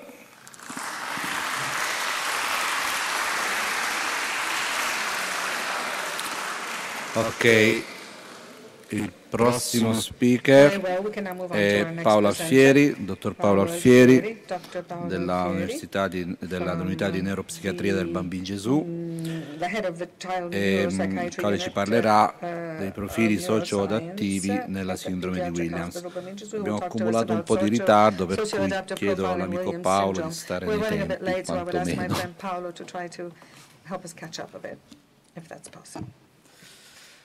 Okay, buongiorno a tutti. Good morning, eh, everyone. Ringrazio per l'invito degli organizzatori uh, e porto i saluti anche al professor Vicari, responsabile del servizio di neuropsichiatria del Bambino Gesù, che purtroppo per motivi per impegni istituzionali oggi non è stato... Mi siedo, guardate così. È meglio? Is that better? Oh, ok. Okay. Allora, ehm, io oggi insomma, vi parlerò un pochino eh, dell'aspetto socio-adattivo, eh, che appunto eh, sembrava, sembra appunto a maggior ragione dopo questa eh, interessantissima presentazione. Abbiamo ascoltato, sembra uno dei possibili aspetti de, delle autonomie su cui diciamo, possiamo in qualche modo eh, eh, intervenire eh, proprio per migliorare la qualità della vita di queste persone con la sindrome di Williams. E negli ultimi decenni si è sviluppato molto un concetto che è abbastanza condiviso a livello di ehm, eh, letteratura scientifica, è quello del fenotipo cognitivo comportamentale. Ed effettivamente c'è una corrispondenza spesso spesso tra eh, la, le caratteristiche fisiche e, e le, i comportamenti e, e, con un determinato genotipo. Quindi ovviamente eh, nell'ambito delle sindromi genetiche, in particolare insomma, tra le più studiate appunto la sindrome di Williams e la sindrome di Down, negli ultimi decenni sono, stati, insomma, sono state apprese diverse caratteristiche peculiari no, che fanno parte proprio del, del profilo neurocomportamentale e che ovviamente variano da individuo a individuo, ma sono generalmente correlati diciamo, a una cosiddetta correlazione una, ana, eh, neuroanatomica. E, ovviamente abbiamo visto che questi sviluppi, lo sviluppo di competenze emotive e cognitive dipende ovviamente da, dalla, differisce da sindrome a sindrome, ma spesso può esserci anche una differenza che abbiamo visto anche all'interno della stessa sindrome. Questo è... No. Avanti con la slide. Let's move to the next slide, please. Ecco, questa è, un, è, un, okay, so è una collaborazione um, con il gruppo del, eh, di Giuseppe Merla insomma, e con la dottoressa Di Giro in cui proprio vedevamo appunto queste caratteristiche che potevano cambiare anche all'interno della stessa sindrome a seconda dell'entità della delezione, quindi chi aveva una delezione più ampia aveva eh, aspetti neurologici più compromessi, come ad esempio l'aspetto dell'epilessia e l'aspetto eh, dell'autismo. Eh, Qual è questo fenotipo cognitivo comportamentale? Andiamo a, andiamo a, riassumerlo rapidamente. Quindi abbiamo detto, sappiamo che i bambini hanno delle eh, buone abilità verbali, sicuramente le abilità verbali sono superiori alle abilità non verbali. Il linguaggio però, anche se è un'area di forza, spesso abbiamo visto è atipico, cioè non è sempre funzionale alla relazione, quindi un linguaggio che può essere a volte tangenziale, un po' ripetitivo, tendono, sono bambini e ragazzi che tendono ad essere a volte eh, eh, molto loquaci loquaci, quindi troppo a volte, e quindi magari rischiano appunto di eh, non riuscire magari a interagire bene dal punto di vista eh, del, della, della, comunicazione. Non hanno spesso un buon contatto visivo, questo anche a volte legato a degli aspetti ansiosi, un deficit della componente attentiva, sono bambini che possono, possono avere spesso ADHD, l'iperacusia è un'altra caratteristica e poi ovviamente le caratteristiche un po' più diciamo, costanti sono la difficoltà nell'ambito visospaziale e quindi nell'ambito visomotorio e la personalità appunto ipersociale, questa caratteristica appunto eh, personalità che è, abbast- è, abbastanza tipica che appunto di eh, ipersocialità. E poi ci sono, nell'ambito di, di disturbi d'ansia, in particolare in questa condizione ci sono soprattutto disturbi d'ansia generalizzati e fobie. Oh, okay. ehm, Ora però noi sappiamo che queste competenze hanno delle traiettorie evolutive a volte, cioè ci sono delle differenze, ad esempio, nell'ambito delle, delle sindromi, eh, perché alcune competenze neuropsicologiche si sviluppano diversamente nel tempo. Questo è un confronto tra la sindrome di Down e la sindrome di Williams. Nel primo, eh, nella prima, nella, nel primo grafico si confrontano bambini con sindrome di Down e sindrome di Williams sotto gli 8 anni. In questo caso vedete come la, eh, la, eh, le competenze linguistiche in questo caso si sovrappongono Down. Quindi noi sappiamo che la Williams ha ottime capacità linguistiche, la di Down invece è caratterizzata da un deficit linguistico generalmente nel, del suo profilo, vede che invece in un'epoca evolutiva precoce tutto sommato queste due sindromi non si differenziano, cosa che invece avviene successivamente. Cioè nell'ambito di questo secondo grafico fa vedere bambini sopra i 12 anni, in questo caso quindi in adolescenza si crea questa differenza di traiettorie evolutive che cambiano a secondo dell'età. Quindi non sono soltanto caratteristiche peculiari, ma possono essere delle traiettorie evolutive peculiari. Eh, torniamo al discorso del linguaggio. Il linguaggio strumentalmente forte, però abbiamo detto dal punto di vista funzionale cosa succede. Spesso sono bambini che parlano molto, portano magari, eh, eh, raccontano spesso magari aspetti personali che sono poco rilevanti nella conversazione, quindi magari, ripeto, non, non, l'altra persona che eh, ha eh, la conversazione con loro fa fatica magari a mantenere una conversazione valida perché effettivamente l'interesse spesso è magari su eh, l'argomento spesso è su interessi personali. Eh, inoltre diciamo, questa, questa, difficoltà anche nel rispetto de- de- de- delle regole sociali porta poi effettivamente diciamo, ad una difficoltà ed una difficoltà anche nell'integrazione dal punto di vista sociale, soprattutto poi vedrete in epoca adolescenziale. Quindi c'è un paradosso, no? cioè, da una parte un linguaggio strumentale forte, quindi dal punto di vista linguistico delle competenze molto buone, a livello lessicale, morfosintattico, d'altro canto però l'aspetto funzionale del linguaggio è compromesso. Come poterle misurare queste competenze funzionali? I test del linguaggio noi li conosciamo un po' tutti, sono abbastanza facili da somministrare fare. Ci sono test diciamo, in genere che fanno i logopedisti e valutano appunto gli aspetti più legati al lessico, alla morfosintassi e, e, e comunque all'aspetto fonologico. Ma da un punto di vista funzionale, cosa possiamo utilizzare? Il costrutto delle funzioni adattive. Il costrutto delle funzioni adattive sostanzialmente mette in interazione l'individuo con l'ambiente e l'individuo in questo caso deve svolgere delle attività in maniera autonoma per poter così diciamo eh, rispondere alle esigenze appunto legate al proprio, al proprio ruolo sociale sociale e quindi rispondere alle attese dell'ambiente eh, per un individuo di pari età cronologica e di pari contesto culturale. E mh, mm, questo concetto eh, auto, delle, dell'importanza di misurare i livelli di autonomia. Dal 2013 è diventato fondamentale. Con il nuovo DSM5, il nuovo manuale diagnostico, l'ultima revisione, e noi sappiamo che il, l'indice di gravità di una disabilità non viene più dato in base al, al quoziente intellettivo, ma in base a questo quoziente quoziente adattivo. Okay? E come si misura questo quoziente adattivo? Si misura attraverso delle scale che generalmente vengono somministrate ai caregivers o ai genitori. Um, In questo caso abbiamo diciamo, un quoziente di sviluppo del funzionamento adattivo che sicuramente ci può dare un'indicazione generale, ma quello a cui siamo interessati proprio per questi aspetti comunicativi è in particolare anche l'aspetto della comunicazione, il dominio della comunicazione. Quindi abbiamo un grande dominio che ci dà un quoziente globale, un quoziente che ci dà lo sviluppo delle capacità adattive di socializzazione, un, un quoziente di sviluppo che ci dà un quoziente di mh, funzionamento per quanto riguarda le abilità quotidiane. E infine, quello su cui ci concentreremo nelle prossime slide, un quoziente che ci dice come funzionano dal punto di vista comunicativo. E se voi guardate all'interno di questa scala comunicativa ci sono tre sotto, sottoscale, tre sottodomini, l'area della comprensione, della ricezione, l'area dell'espressività e l'area della scrittura. Quindi l'area della ricezione e della comprensione come un bambino ascolta, presta attenzione, come comprende le cose, espressivo ovviamente come utilizza le frasi, le parole per dare delle informazioni, scrittura come legge e come scrive.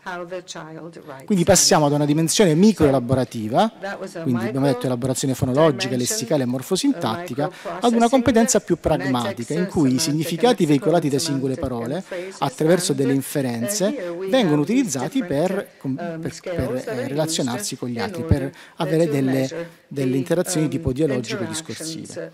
Quali possono essere degli esempi per la comprensione? Come possiamo capire se il funzionamento della comprensione è, è valido? Ad esempio ci sono all'interno di queste scale che noi utilizziamo delle domande che, in cui indaghiamo ad esempio se il bambino comprende dei modi di dire, oppure se ad esempio riesce ad ascoltare una lezione per 15 minuti, oppure interagisce in una conversazione riuscendo ad esprimere le proprie opinioni, okay? oppure se banalmente se risponde a delle domande se allora, cioè ad esempio se metti a posto i giochi, allora poi puoi andare in giardino. Quindi diciamo un aspetto più funzionale, una misura più funzionale delle capacità comunicative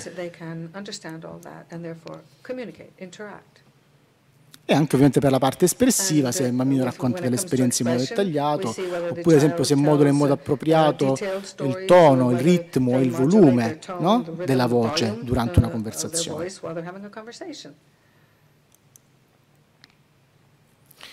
E quindi abbiamo eh, l'attenzione adesso è su, su, questi studi che comparano no, i livelli di autonomie nell'ambito delle sindromi, nel, non solo nella Williams, vedete questo è uno studio che vi faccio vedere perché confronta diverse sindromi eh, eh, e in questo caso sostanzialmente si vedeva che dal punto di vista delle autonomie, dal punto di vista attivo, il profilo migliore lo presentava la sindrome di Prader-Willi, il profilo più forte, il profilo meno forte, più debole lo presentava bambini con, con sindrome di Angelman, ma la cosa per cui faccio vedere questo studio è che sorprendentemente i bambini con l'X fragile e con la sindrome di Williams avevano un profilo attivo simile, non avevano differenze. E questo ci, ci ha stupito molto perché noi sappiamo che invece l'X fragile presenta molto spesso dei disturbi d'ansia sociale, dei disturbi autistici molto gravi. E quindi pensare che dal punto di vista dell'autonomia queste due sindrome potessero coincidere ci ha fatto riflettere. Questo è un altro studio dove sostanzialmente vengono utilizzati dei questionari che valutano sempre le autonomie, non è proprio quello strumento che vi ho fatto vedere prima, è un'altra cosa. Però vedete come in questo studio dove si confrontano tre gruppi, adolescenti, giovani adulti e adulti, sicuramente l'area di eh, interazione sociale e di comunicazione è un'area di forza. Ma quello che, eh, che osservavano in maniera sorprendente questi autori è che nel corso del tempo questa competenza tendeva a ridursi. Mentre le altre autonomie erano meno sviluppate, cioè erano meno aree di erano considerate meno aree di forza, ma rimanevano abbastanza stabili nel tempo. Questa, questa abilità, che viene ritenuta un'abilità in qualche modo eh, peculiare, forte, un'area di forza della sindrome, vedete che nel corso del tempo però tende a diminuire, tende a decrescere come competenza.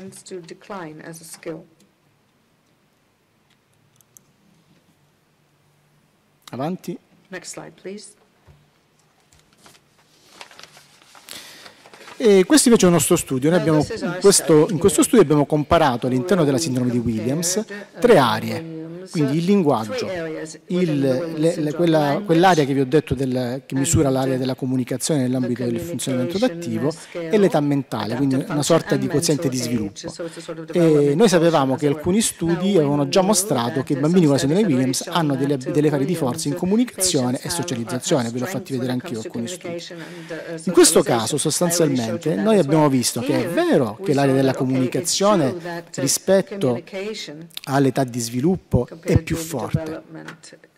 Sicuramente diciamo, è un'area che è ben sviluppata, però da un punto di vista della, ehm, all'interno dei domini abbiamo visto che in realtà mentre l'area espressiva e l'area del, della scrittura erano sicuramente aree di forza, l'area della comprensione e della ricezione era significativamente più bassa addirittura rispetto all'età di sviluppo. Quando noi andiamo a, fare, a vedere se un, un dominio settora, settoriale, un'area di, di, tipo neuropsicologico può essere considerata un'area di forza o un'area di debolezza, l'unico modo che abbiamo in una condizione di disabilità è confrontarla col, con il, il quoziente intellettivo, con l'età di sviluppo. In questo caso quindi il dominio della comunicazione a livello generale era forte, okay? era, più, era significativamente più alto rispetto all'età di sviluppo, ma in realtà in questo gruppo di 32 bambini andando a vedere il sottodominio della comprensione, delle capacità di comprensione che vi ho fatto vedere prima come si possono misurare, era inferiore rispetto alle attese.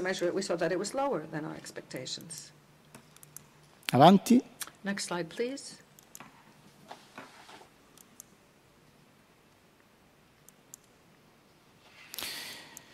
E allora abbiamo pensato, vediamo se questa cosa cambia se noi splittiamo il gruppo in due, eh, in due gruppi di bambini più piccoli e bambini adolescenti. Ed effettivamente abbiamo visto che nel gruppo di bambini più piccoli l'area della comprensione non si differenziava più di tanto dalla, dalla, dal, dall'età di sviluppo.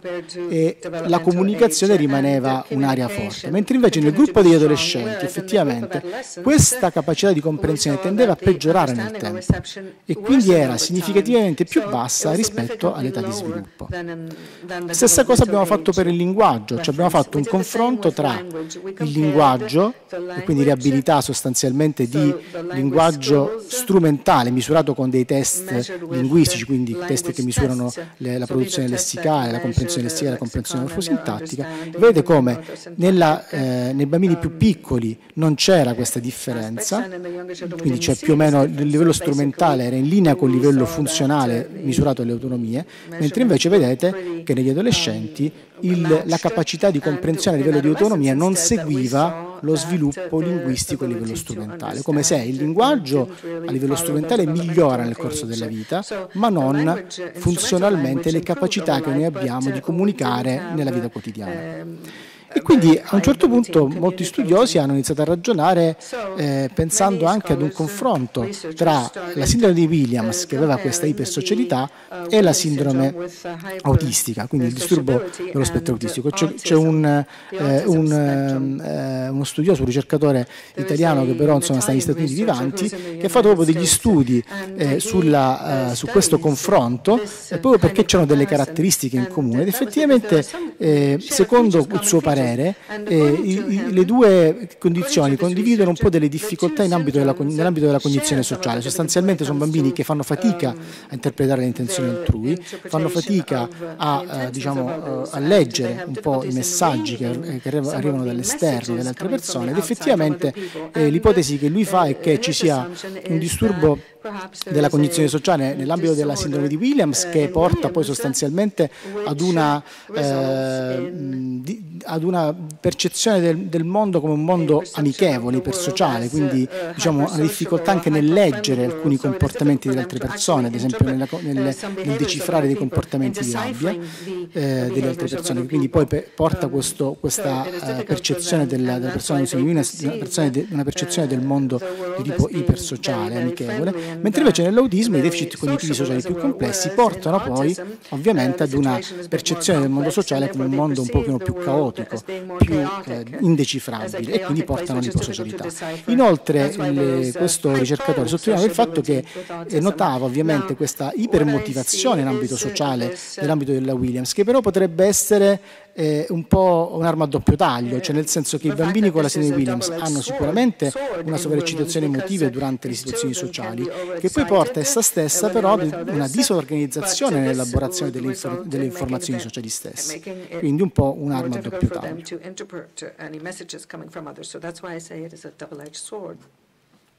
Ok, mi avvio alla fine, sono insomma le ultime slide.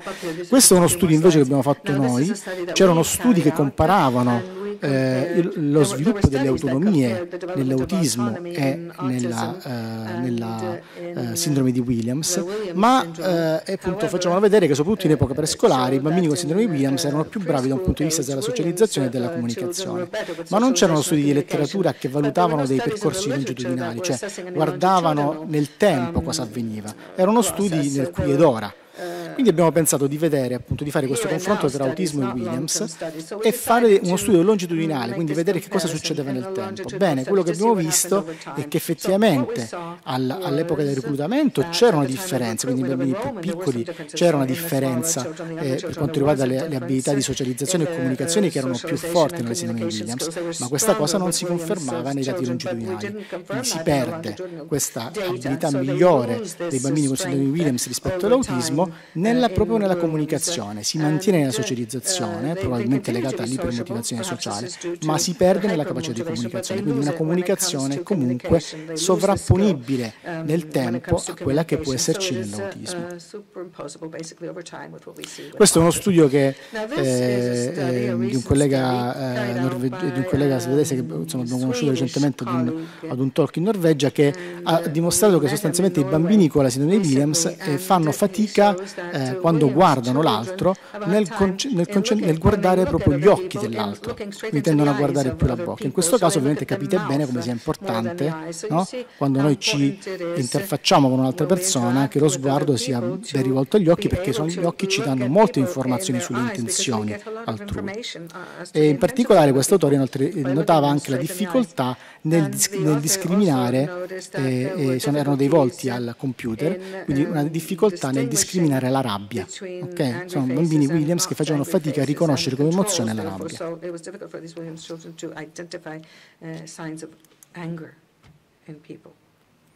Un altro modo per studiare la condizione è diciamo, lo studio della condizione della sindrome reciproca, quindi dove non c'è la delezione ma c'è una duplicazione. Ci sono delle caratteristiche fisiche diverse, vedete anche da un punto di vista dei dismorfismi, eh, ma la cosa interessante per noi neuropsichiatri è che c'è una differenza dal punto di vista del fenotipo comportamentale. C'è descritto un fenotipo opposto alla sindrome di Williams. Nella sindrome da duplicazione della stessa regione c'è descritto sostanzialmente in letteratura una difficoltà da un punto di vista linguistico strumentale, quindi sono bambini che parlano molto tardi, sono bambini che non hanno una ipersocialità, ma hanno un'iposocialità, un'ansia sociale importante, con un invitamento anche sociale, spesso possono andare incontro a problemi di tipo psicosi o aggressività, okay? e anche diciamo, sintomatologia di tipo autistico, quindi un fenotipo opposto no, sulla carta alla sindrome di Williams.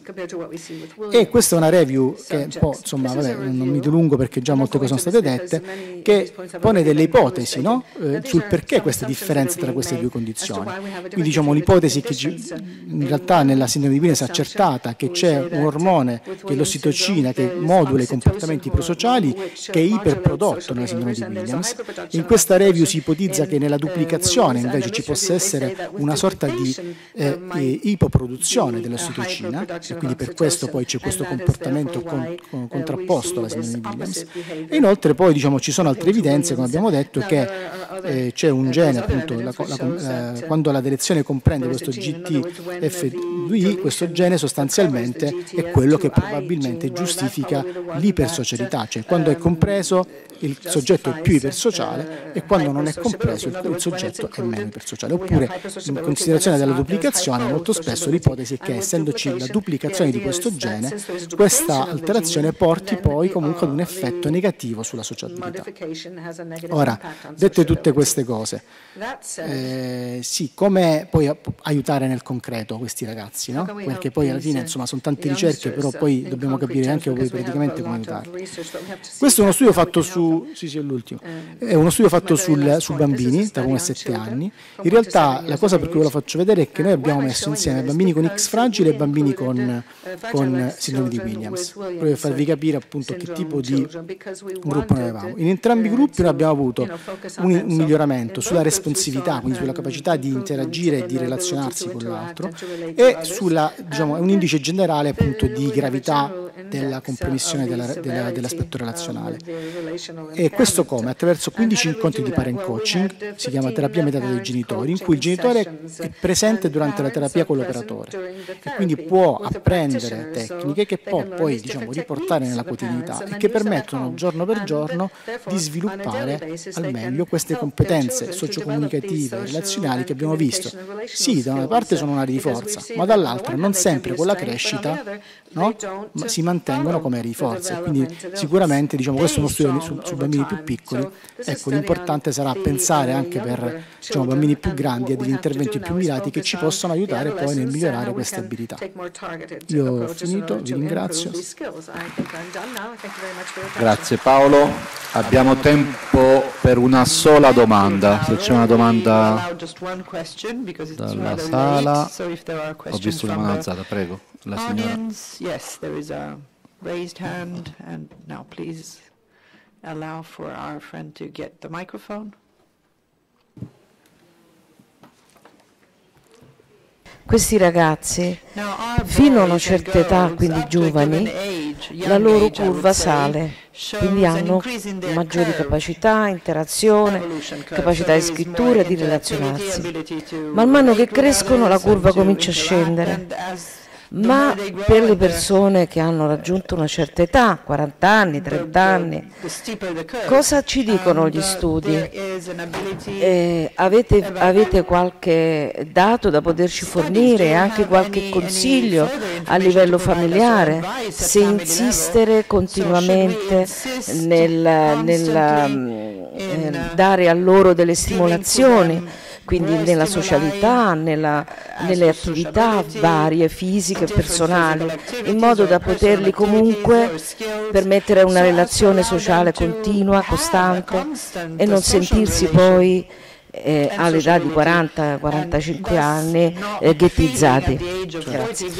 Eh, sì, grazie per la domanda. Allora, eh, intanto eh, la, la, l'ipotesi è che non è che si riducono proprio solo spontaneamente, le richieste ambientali aumentano. Dal punto di vista sociale, è un bambino che ha 4-5 anni, è un ragazzo di 15 anni. Okay, quindi le richieste ambientali, sociali, ovviamente con la crescita dell'età aumentano vertiginosamente. Quindi è come se questa potenzialità, che soprattutto ne vediamo nei piccoli, poi si perde un po' perché effettivamente le richieste ambientali sono importanti, quindi il bambino non riesce più a mettere diciamo, sul campo quella, eh, diciamo, quella caratteristica così positiva, no? perché magari un bambino a 4 anni che è molto loquace, molto socievole, no?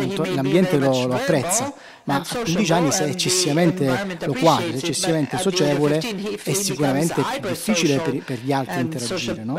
Quindi quello che bisogna fare non è ridurre la socialità, ma modularla. Cioè quello che ho fatto vedere io l'intervento psicoeducativo, no? quello che facciamo con le famiglie che vengono in ospedale, cerchiamo sempre già da piccoli dare, dare dei consigli, dare dei, delle, delle, delle eh, indicazioni su come modulare la relazione, le regole sociali. Okay? La, la, la, rispettare il turno dell'altro. Okay, sono più che diciamo, degli interventi legati alla società in senso generale, sono proprio degli interventi più specifici che vanno però eh, creati, cioè nel senso queste sono cose che noi diciamo, acquisiamo un po' dalla nostra esperienza. Probabilmente su degli interventi un pochino più modulati questo sicuramente andrà creato qualcosa di più specifico per i genitori, in particolare per i genitori anche, e per, per gli educatori, per gli operatori che hanno a che fare con i ragazzi. Insomma è una sfida per il futuro. Anche se Conoscere, voglio dire, questo è importante per noi, no? perché sappiamo come possiamo lavorare con le famiglie. Ok, grazie. Allora passerei al prossimo speaker, la dottoressa Maria Cristina Di Giglio, della unità di genetica medica del Bambino Gesù eh, in Roma, che ci parlerà dell'esperienza in un ospedale pediatrico circa la sindrome di Williams. Grazie. Uh, when confronted with the Williams syndrome.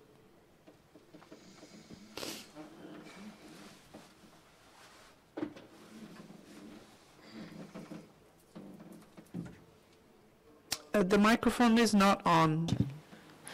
Ringrazio l'associazione e gli organizzatori per avermi dato questa opportunità e eh, parliamo dell'esperienza, della mia esperienza, dell'esperienza di un ospedale pediatrico nei confronti della sindrome di Williams. Avete già sentito parlare dei vari aspetti, delle caratteristiche cliniche, dei segni clinici, delle malformazioni che possono essere presenti e come tutte le sindromi genetiche sappiamo che è una patologia che può riguardare il ritardo di sviluppo, le malformazioni come la cardiopatia, eh, segni clinici un po' più particolari come lo strabismo, la predisposizione all'ernia, all'ipertensione e tutto questo eh, fa sì che sia necessario affrontare tutti questi tipi di problematiche con un team di, di molti specialisti perché ecco, abbiamo sentito Paolo Alfieri per la parte neuropsichiatrica è necessario questo tipo di specialista e per la parte malformativa può essere il cardiologo, può essere il nefrologo per la parte renale e così via, ho messo i puntini per far capire anche tutti gli altri specialisti che non sono stati messi nella slide, con un coordinamento generale che cerca di eh, valutare anche quegli aspetti che mettono in relazione la parte malformativa con la parte di sviluppo neuropsichiatrico. E eh, nell'ambito della parte nostra diciamo che eh, ci sono tre attività, nostra intendo genetica, tre attività che sono quella della diagnosi, quella del monitoraggio clinico e quello del counseling genetico. E, mh, per quanto riguarda la diagnosi, quello che mi premeva sottolineare eh, anche come storico negli anni che se noi facciamo riferimento a, a tanti anni fa, eh, quando non esistevano le tecniche diagnostiche specifiche per la sindrome di Williams, vedete che l'età media alla diagnosi per i bambini era di 6.4 anni. E, è chiaro che adesso questa età uh, si è eh, diciamo, molto anticipata e grazie all'utilizzo di tecniche diagnostiche precoci e alla conoscenza maggiore della, della patologia e sicuramente questo eh, porta un, un trattamento più precoce e quindi un miglioramento anche della, della prognosi di questo tipo di, di, di, patologia.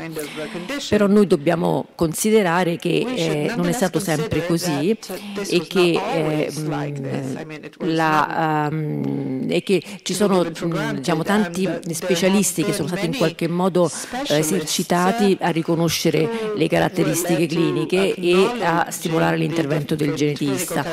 Una diagnosi precoce, ad esempio nel primo anno di vita, che adesso è anche diciamo, stimolata dal discorso clinico, è perché i gastroenterologi, quando vedono bambini che hanno difficoltà dell'alimentazione, che non riescono a trattare eh, nella maniera tradizionale, eh, mh, spesso hanno loro stessi il sospetto della sindrome, e così come i neurologi per la parte eh, diciamo, motoria, di ipotonia o comportamentale specifica, o addirittura un chirurgo che quando vede una, so, un'ernia inguinale nel primo anno di vita, può capitare anche in un bambino che non ha la sindrome, però è come se fosse un po' una, una spia per la patologia e eh, allora questo porta a mh, mm, diagnosticare, a, cioè, a porre il sospetto precocemente e quindi consentire una diagnosi.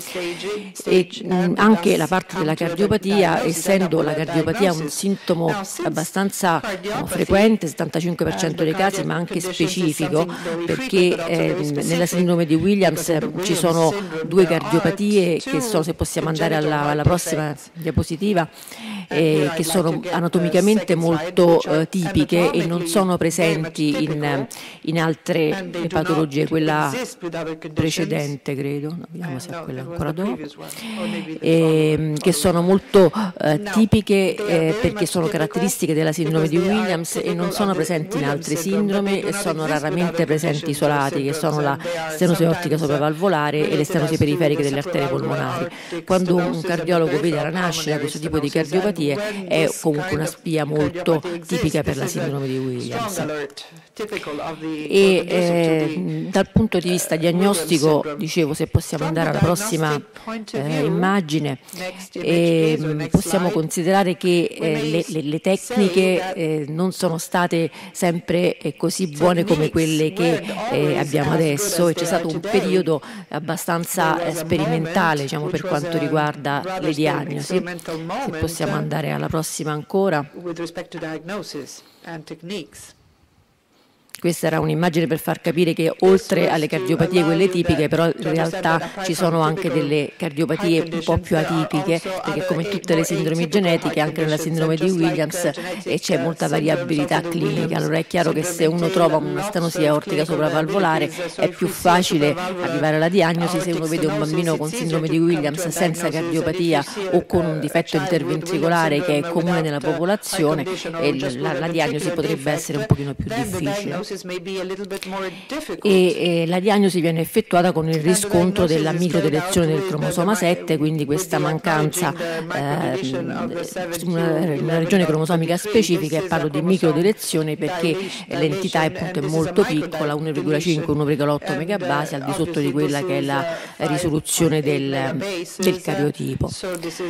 E eh, sicuramente il professore Dalla Piccola si ricorderà eh, quando nel, eh, credo che fossero gli anni 90 con Antonio Novelli. abbiamo fatto del, cercavamo di trovare delle tecniche per poter diagnosticare rapidamente, utilizzare la fish, per cui eh, Antonio aveva messo su un, una tecnica di fish sui vetrini, per cui noi, noi, mandavamo, anziché mandare il sangue, il prelievo del sangue, il vetrino, lo striscio del paziente e lui eh, ci andava a trovare questa, questa direzione. E parliamo un po' della, della fantascienza, diciamo, del, del, de, della, della prima esperienza in ambito diagnostico. E, e, e adesso, diciamo, dopo la FISH, esistono anche delle tecniche per poter ehm, quantificare l'ampiezza della delezione, abbiamo già sentito parlare eh, di delezioni atipiche, ma eh, sappiamo diciamo, in molta in sintesi che ci sono dei geni come il gene dell'elastina che è un gene fondamentale per la parte vascolare, per la parte malformativa cardiaca e che ci sono anche altri geni che sono fondamentali per, per altri sintomi. E quasi tutti i bambini con sindrome di Williams hanno la stessa entità di delezione, però esistono delle delezioni un pochino diverse che danno dei sintomi aggiuntivi.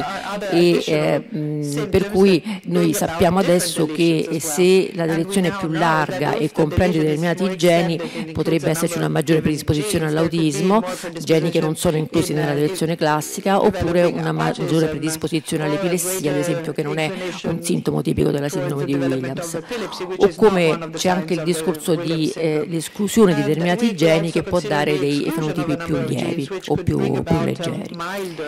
E e, mh, recentemente mh, è capitato di osservare due famiglie, una addirittura diciamo, familiare, mamma e figlia e un caso singolo, di direzioni ancora più atipiche che riguardano la direzione eh, distale, nel senso che noi siamo abituati a dire che nella sindrome di Williams molto del fenotipo è legato al gene dell'elastina che è compreso nella direzione classica, eh, queste sono delle direzioni invece che non comprendono il gene dell'elastina, sono spostate state un pochino più avanti, e però il fenotipo esempio, facciale è, è sovrapponibile a quello della sindrome di Williams e anche il profilo neurocomportamentale.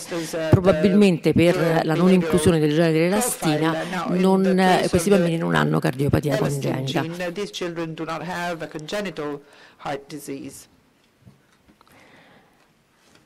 La prossima diapositiva per favore.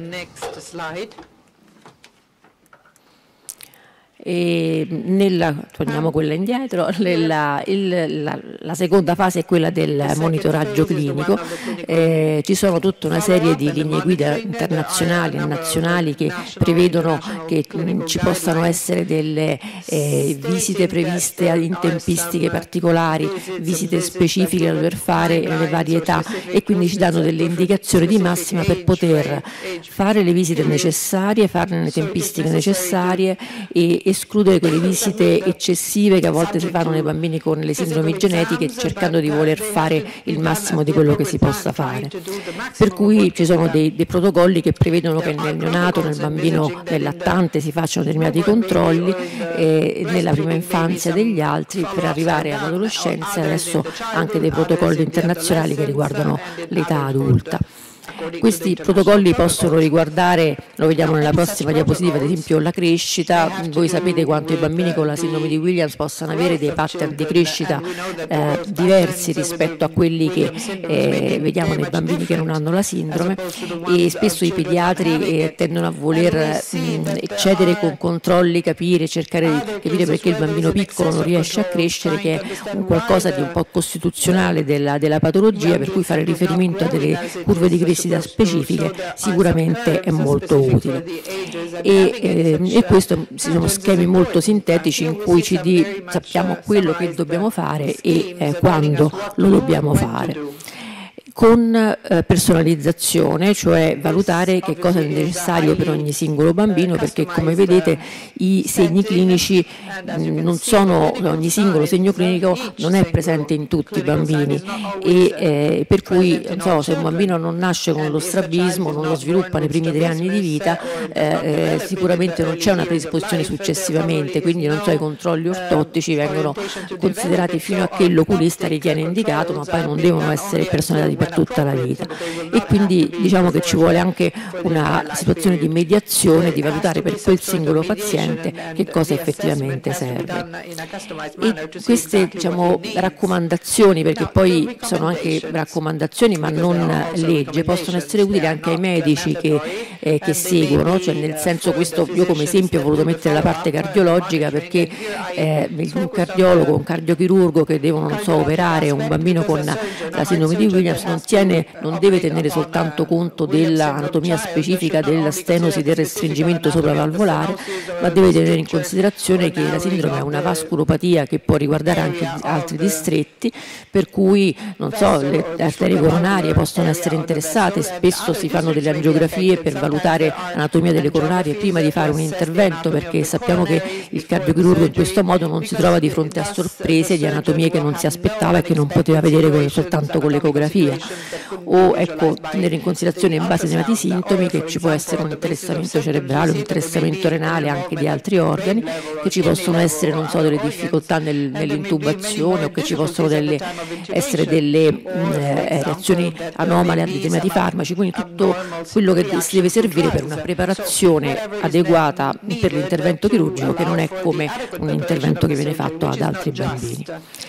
E per ultimo il counseling genetico eh, che è qualcosa di importante, che è qualcosa che viene fatto al momento della diagnosi, però spesso non viene percepito perché si dà molta importanza a capire le caratteristiche cliniche della patologia, però può essere ribadito poi diciamo, successivamente perché è un counseling che riguarda la coppia di genitori, noi sappiamo che nella maggior parte dei casi la sindrome di Williams è una patologia non ereditaria che insorge de novo in una famiglia, quindi i genitori sani, non c'è nulla in famiglia e nasce il bambino con questa sindrome, viene dimostrata la delezione del bambino, non viene dimostrata nei, nei, nei, nei suoi genitori e questo fa sì che i genitori quando avranno un altro figlio non avranno un rischio riproduttivo aumentato per la sindrome di Williams perché casualmente diciamo, la rottura avviene in un bambino ma è, è altamente improbabile che questo si ripresenti, quindi diciamo, c'è il rischio in realtà che è uguale a quello della popolazione generale.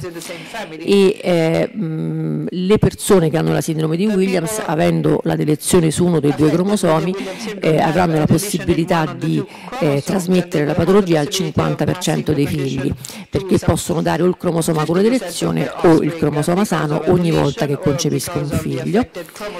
E eh, i fratelli e le sorelle dei pazienti con sindrome di Williams invece non hanno un rischio aumentato rispetto a quello della popolazione generale, perché essendo i loro genitori eh, sani non hanno trasmesso, hanno trasmesso la delezione diciamo, al figlio con la sindrome di Williams, ma loro non sono portatori sani di nulla e quindi non avranno un rischio eh, riproduttivo aumentato per la sindrome, anche se hanno avuto un fratello e una sorella con la patologia.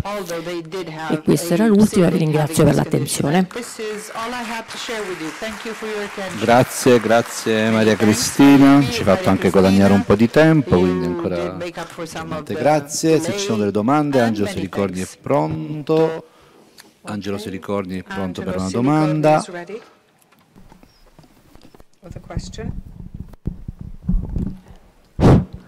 Maria Cristina, dunque grazie per la presentazione. Io ho due domande, una più tecnica e una più generale.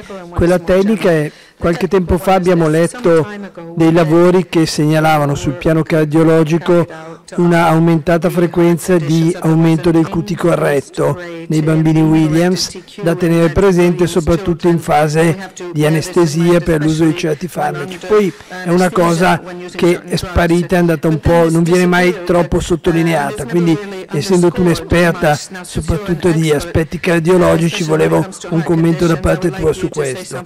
La seconda domanda, più che una domanda, è un commento.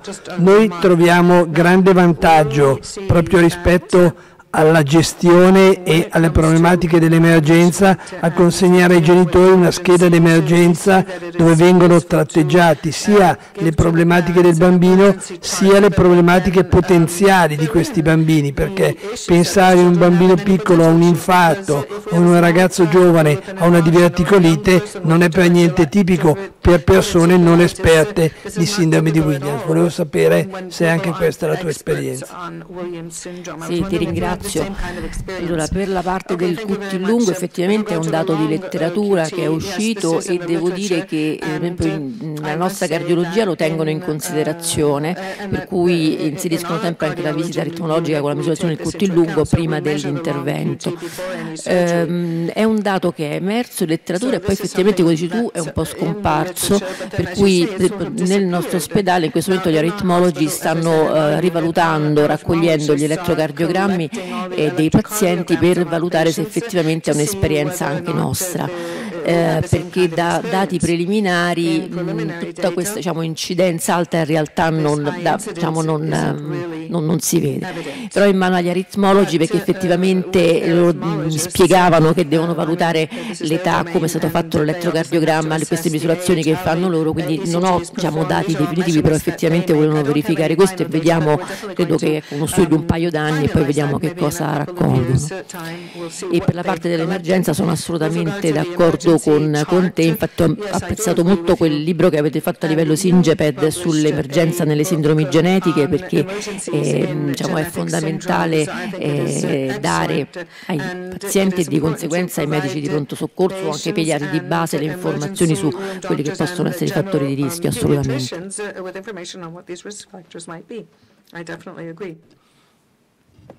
Ok, non so se dottoressa Cosel vuol dire qualcosa in più nella loro esperienza cardiologica? Hanno avuto qualche dato diverso da quello che diceva appunto la dottoressa Di Giglio sul CT? Does uh, Mrs. Dr. Kozel have anything to contribute in addition to what we've heard uh, from Dr. Di Giglio? Hi, thank you. I was just going to comment also on the, the long QT um, questions. We recently did um, a study sort of comparing that in, in patients in general and found that to some degree um, the people with Williams syndrome have a longer QTC um, than, is, than is typical, but not necessarily in many cases long enough to actually do bad things. Um, and we also see that it tends to be correlated with um, with heart rate, which we showed was also elevated, that was sort of imperfectly um, um corrected for by the, the, the C, which is in QTC corrected, that it's just imperfectly corrected for. So we do think that there is something that is sort of Williams specific to it, but in most cases it is not sort of eh, having negative outcomes unless it sort of gets to a certain length, sort of getting closer to 480 over 500 kind of a thing. So in general, we are looking at that number and recommend looking at um, medications that people are on that could further prolong QT um, in people and having conversations with families in which somebody's QTC is sort of pushing a little bit further to just say, is this the best medication for you and sort of combination um, for that. Thanks. Allora, grazie, possiamo passare al prossimo relatore che è il dottor Selicorni.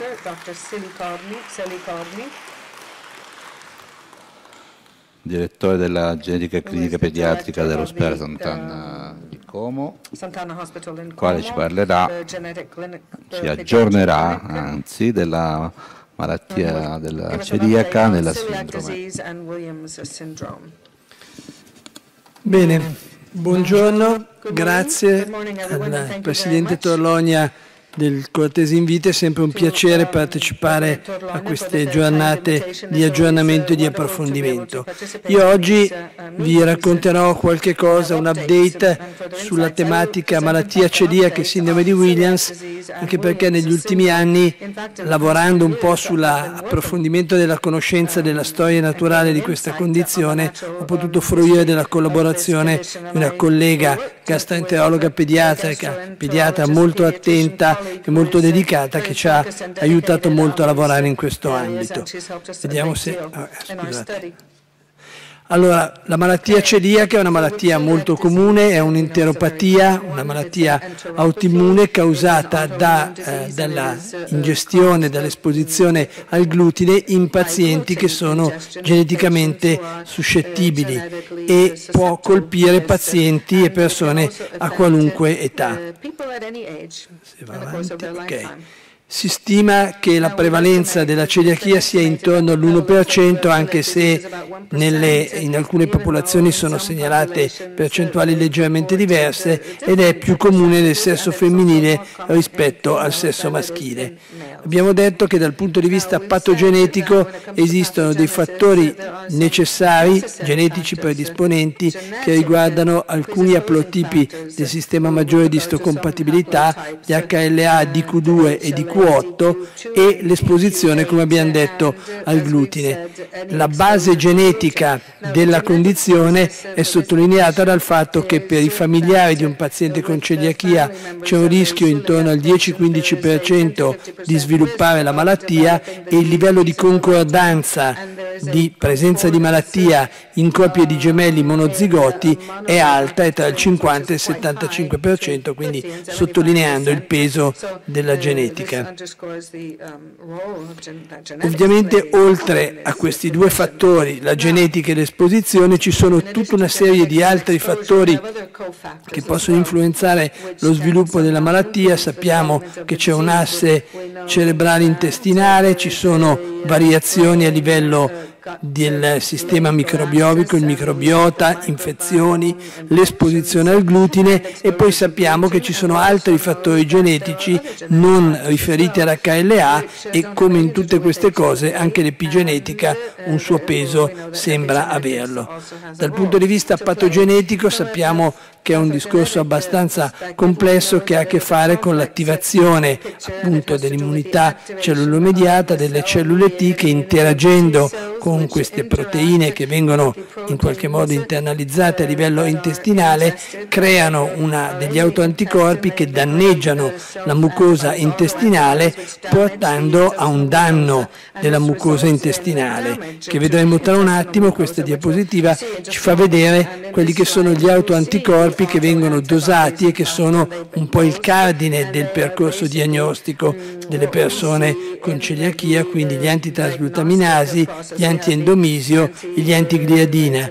E sulla parte destra della slide vedete sensibilità e specificità di questi autoanticorpi e si vede molto bene come i primi due, che poi vedremo nella flowchart diagnostica sono gli elementi cardine, sono quelli più sensibili e più specifici.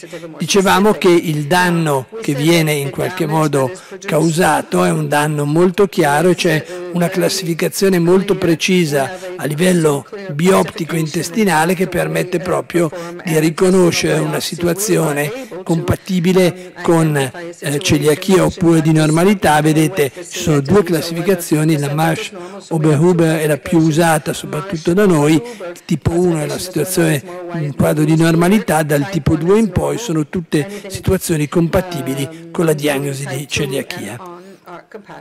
Dal punto di vista clinico è, dobbiamo dirci, e questo eh, un po' sottolinea la complessità del problema, è definita una sindrome, una condizione abbastanza camaleontica, nel, nel senso che è estremamente variabile dal punto di vista della sua espressione, ha due picchi di incidenza, in particolare nei primi due anni di vita e poi nella seconda terza decade di vita. E sappiamo che può essere molto variabile da paziente a paziente.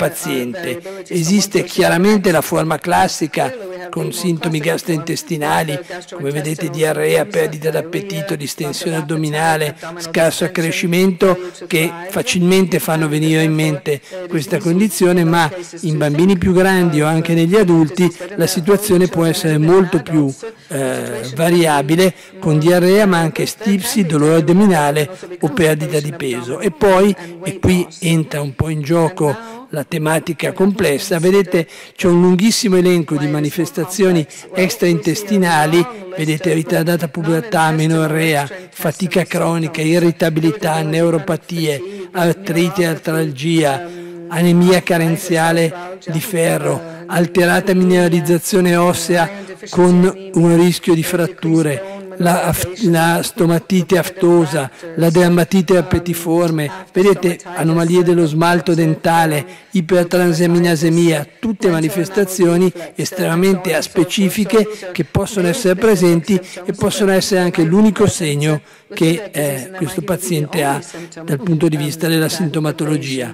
E infatti questo è ben raffigurato da, questa, da questo iceberg che riassume la sintomatologia della condizione. Abbiamo una parte, intorno al 28%, 30%, che ha le manifestazioni tipiche, una parte con manifestazioni atipiche e una grossissima parte, che è quella che sta sotto l'acqua, di forme silenti dove effettivamente noi non abbiamo grandi sintomi, ma a livello intestinale c'è un danno e questo può creare le complicanze legate alla condizione. E poi viene definita una forma potenziale di celiachia dove abbiamo una sierologia positiva, ma andando a controllare la biopsia intestinale acquisita per via endoscopica abbiamo una normalità della biopsia intestinale. Dal punto di vista diagnostico il percorso è relativamente semplice, si fa uno screening con questi anticorpi antitransglutaminasi, quando questi sono aumentati si passa al dosaggio degli antiendomisio. Le nuove linee guida dell'ESGAN ci dicono che quando il titolo di questi anticorpi è superiore a 10 volte la normalità e gli antiendomisio sono positivi, possiamo evitare di fare la biopsia intestinale e considerare il paziente affetto da celiachia e quindi introdurre la dieta senza passare dal percorso bioptico. Quando invece il titolo è aumentato ma non superiore a 10 volte, con una positività degli antiendomisio, dobbiamo andare a eseguire la biopsia e a quel punto, in base alla classificazione che vi ho fatto vedere, vedremo se il paziente ha o non ha la celiachia.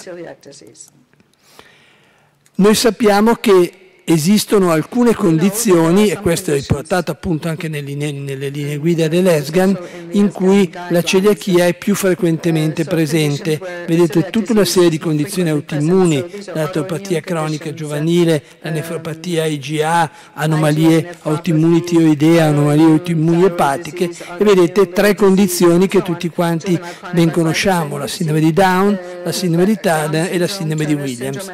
E quella percentuale del 9 9,5% si riferisce al primo lavoro significativo da questo punto di vista che era stato pubblicato, lo vedremo tra un attimo, dal gruppo proprio del Bambin Gesù con il dottor Gianotti. Questa diapositiva ci dice due cose importanti. La prima, nelle linee guide sempre ESGAN del 2012, si dice che nei pazienti a rischio aumentato, quindi familiari di soggetti affetti o persone appartenenti alle categorie che vi ho fatto vedere, è fortemente indicata l'esecuzione e la tipizzazione dell'HLA, perché solo l'1% dei pazienti celiaci non ha o il DQ2 o il DQ8. E dall'altra parte l'altra diapositiva ci dice che questo screening va fatto anche nei pazienti asintomatici proprio per la ragione che avete visto dell'elevata quantità di forme silenti dal punto di vista della sintomatologia ma in qualche modo presente la patologia a livello intestinale.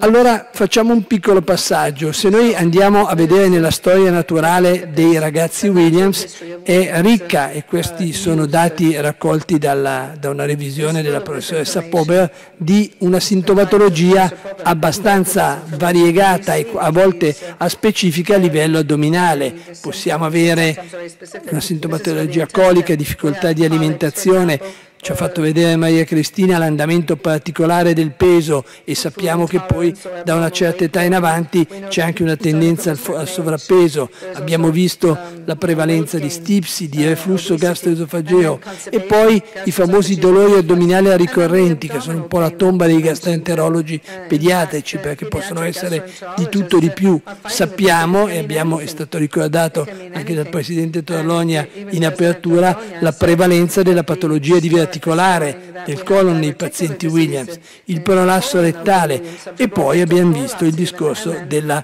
celiachia. Ma quello su cui vorrei portare l'attenzione che rende, tra virgolette, un po' difficile eh, il discorso della diagnosi sulla base dei sintomi è che noi sappiamo che in età pediatrica in generale, ma ancora di più nei pazienti con sindrome di Williams, noi ci dobbiamo porre il problema della presenza di dolori funzionali. Quante volte vediamo ragazzini, qui parlo da pediatra, dire, generale, non pediatra che si occupa di bambini sindromici, bambini che hanno questi dolori addominali, fatti tutti gli esami del mondo, non si trova niente, si dice sia un dolore funzionale, il famoso asse intestino-cervello.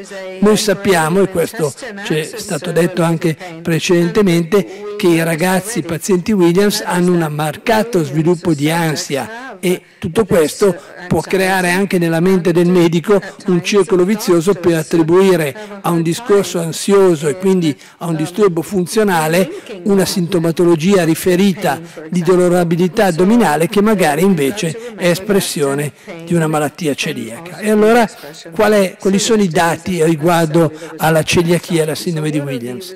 Il primo lavoro del 96 aveva trovato una prevalenza bassa, sostanzialmente sovrapponibile a quella della popolazione generale, vedete, un paziente su 71, un 1,4%.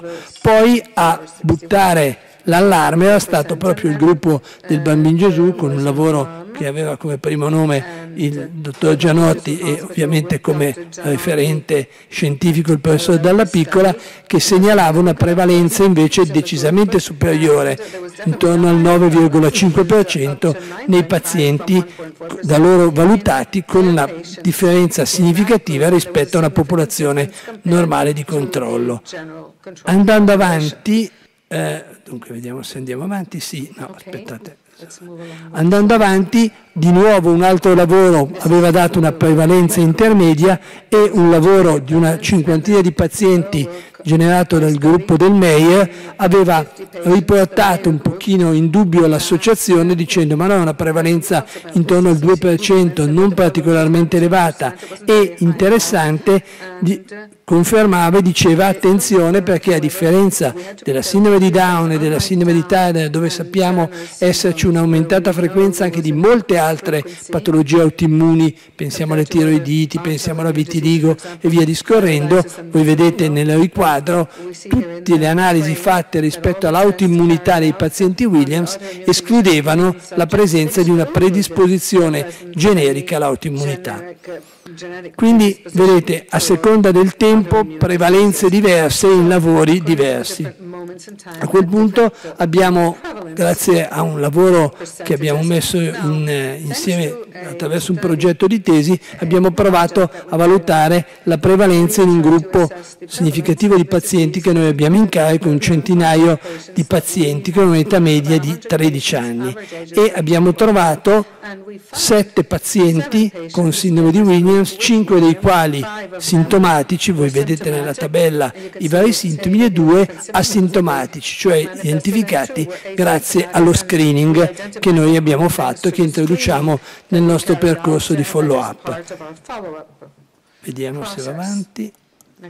Ecco, quindi anche qui mettendo insieme e raccogliendo tutti i dati della letteratura pubblicati si vede che se noi consideriamo tutto quanto i pazienti testati e i pazienti positivi corrispondono a un 7-7%, quindi decisamente superiore all'atteso per la popolazione generale, quindi una situazione certamente significativa. Nella casistica, nella prima casistica che abbiamo analizzato, siamo andati a vedere la situazione HLA, perché come si dice eh, non, non esiste sostanzialmente una diagnosi di celiachia senza una positività degli HLA predisponente. Il dato HLA HLA era presente solo in meno della metà dei nostri pazienti.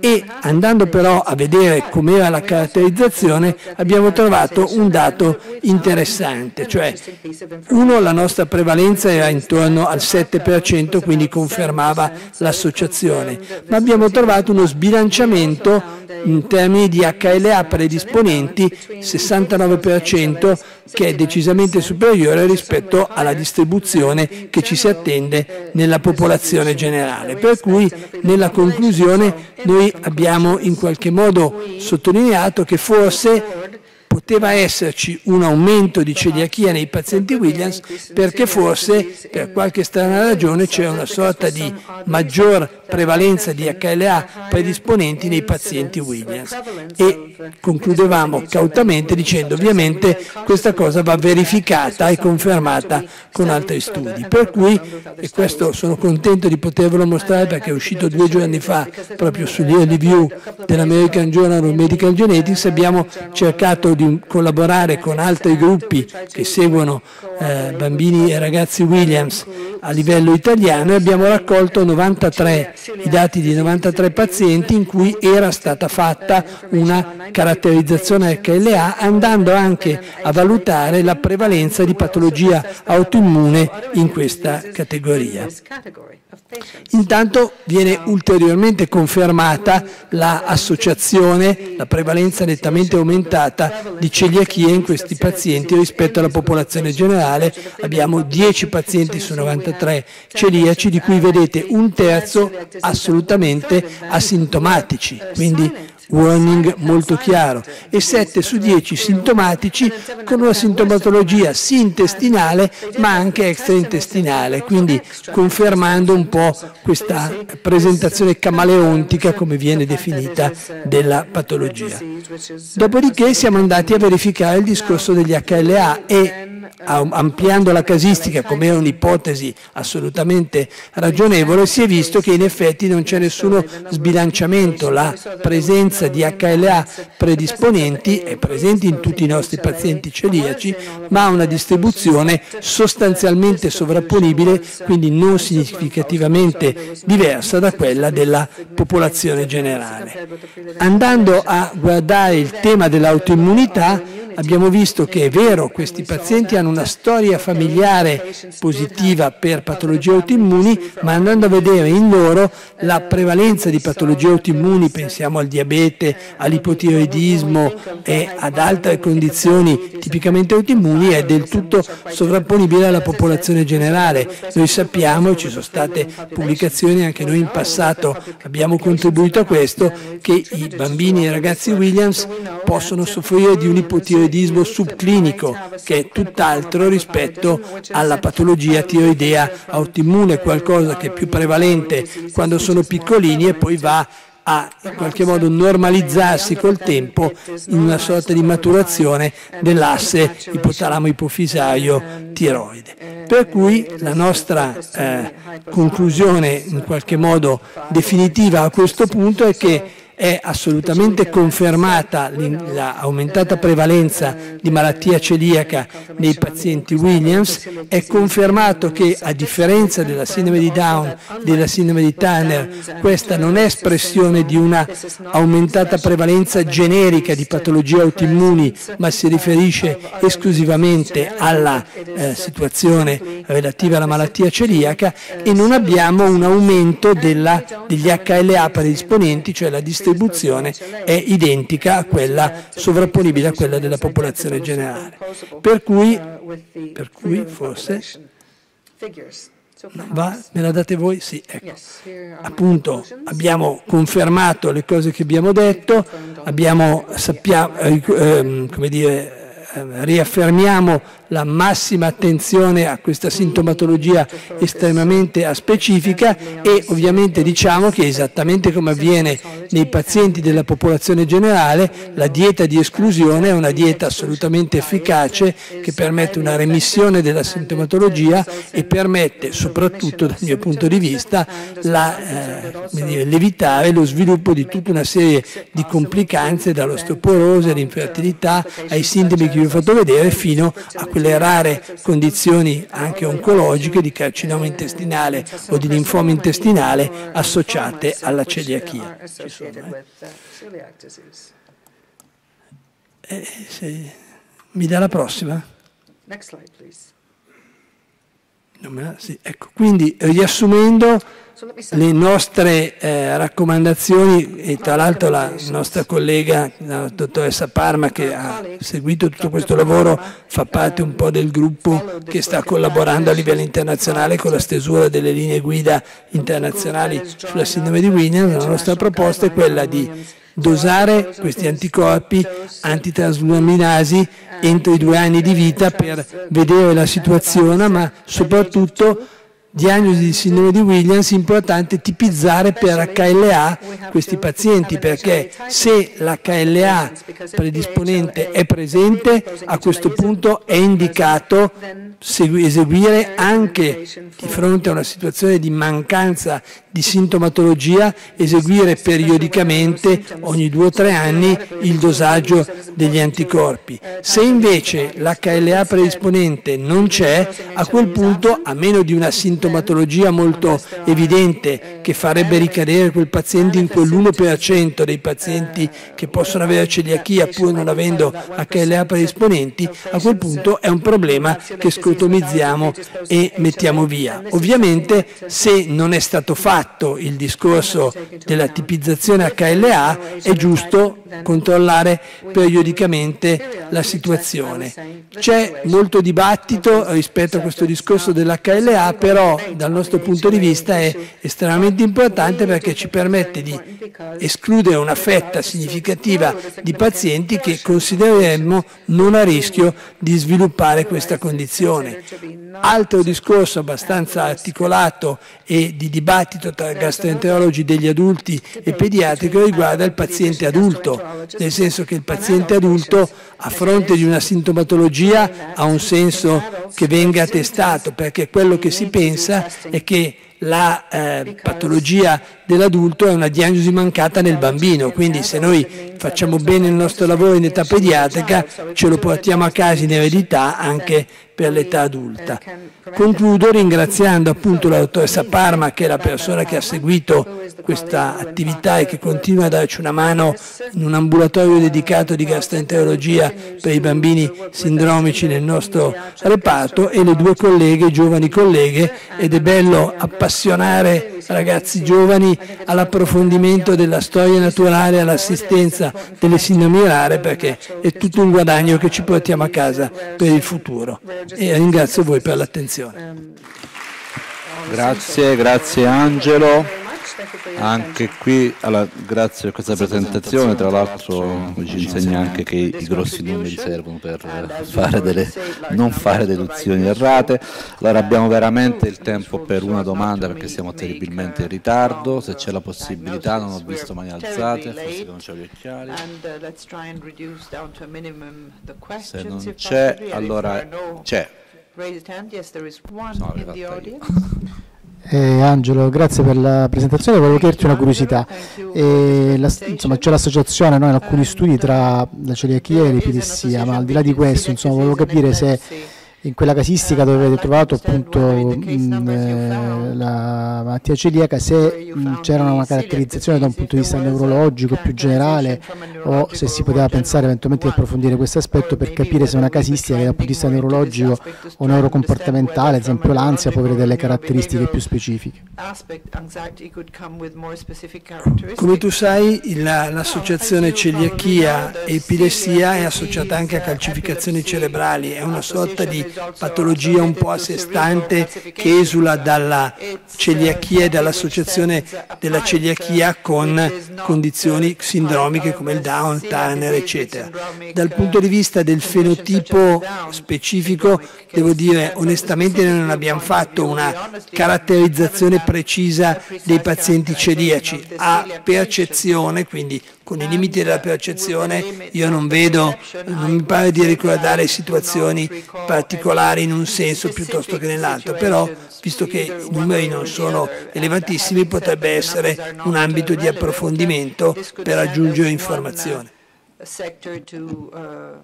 Ok, grazie. Quindi diciamo, rimanendo un po' nel tema, possiamo passare grazie Angelo, grazie per la tua presentazione. Chiamerei la dottoressa Gaia Morice, o Morice, mi chiedo scusa per la esattezza, in caso che proviene dalla clinica Villa Mafalda di Roma e ci parlerà appunto nei prossimi quarto d'ora, 20 minuti, delle strategie nutrizionali nella sindrome di Williams, così ci accompagna al pranzo. Perfetto.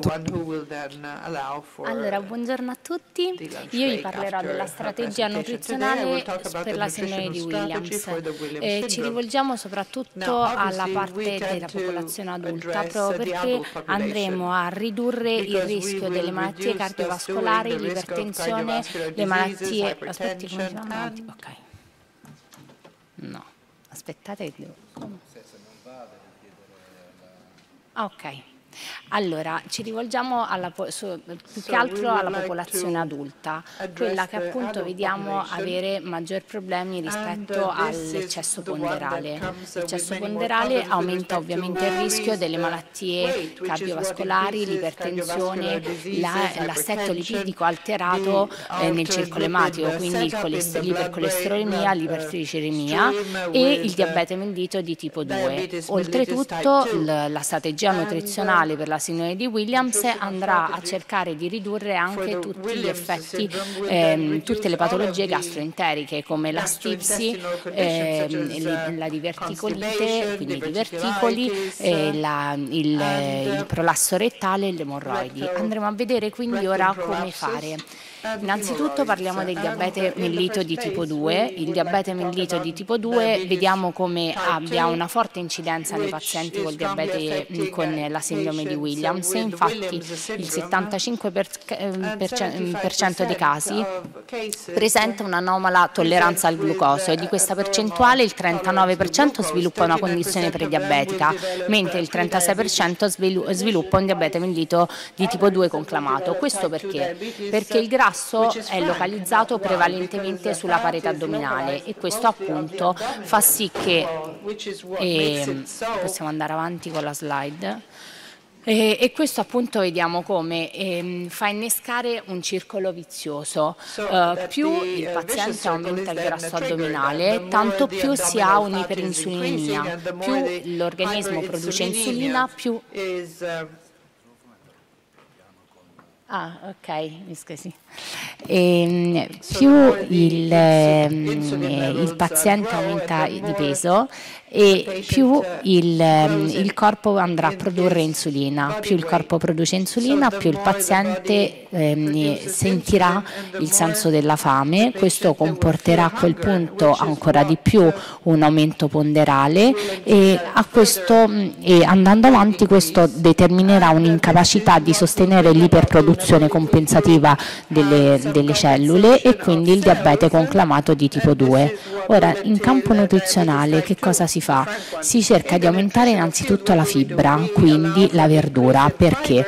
Perché aumentando la verdura, la verdura all'interno ha fibra che svolge svariate funzioni all'interno dell'organismo perché aumenta il senso di sazietà, rallenta lo svuotamento gastrico e migliora la funzionalità intestinale. Il consiglio che io do sempre è di prendere quattro porzioni di verdura al giorno, una prima del pasto e una dopo il pasto, in modo da inglobare quello che poi noi andiamo ad assumere al, al pasto stesso. Le verdure devono essere, devono essere il più variegato possibile, cioè non possiamo pensare di mangiare soltanto un tipo di verdura. Come si fa questo? Perché noi sappiamo che i pazienti con la sindrome di Williams dobbiamo tener conto anche dell'aspetto psicologico del paziente e quindi non possiamo tenere, lega, eh, essere legati soltanto alle linee guida perché poi sarebbe impraticabile ergo inutile.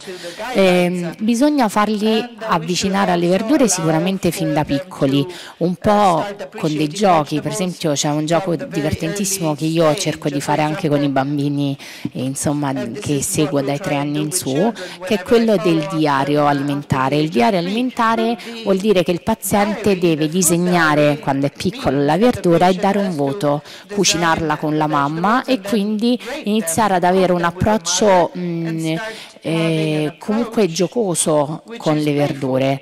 Eh, io dico sempre alle mamme portate i bambini al, dal fruttivendolo e fate scegliere a loro la verdura che devono cucinare. Le verdure poi dovranno assa- essere assaggiate tutte le settimane, però con delle modalità diverse. Allora una volta le facciamo gratinate, una volta le facciamo lesse, una...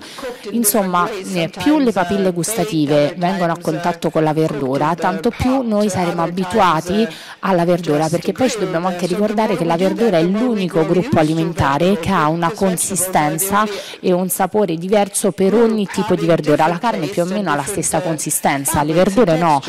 La carota ha una consistenza diversa rispetto alla zucchina lessa e quindi a volte, soprattutto nei bambini, noi abbiamo un, eh, un blocco più visivo e organolettico rispetto al sapore vero e proprio. E quindi quello che io cerco di eh, passare alle mamme è di non fermarsi al primo no, lavorarci un pochino sopra perché le verdure nel nostro caso sono fondamentali. Poi avanti con la diapositiva. Ok. Quindi uno dei primi obiettivi che ci dobbiamo porre è quello di ridurre il peso corporeo. Mm, ridurre il peso corporeo eh, non si deve mai fare drasticamente, questo vale per tutti.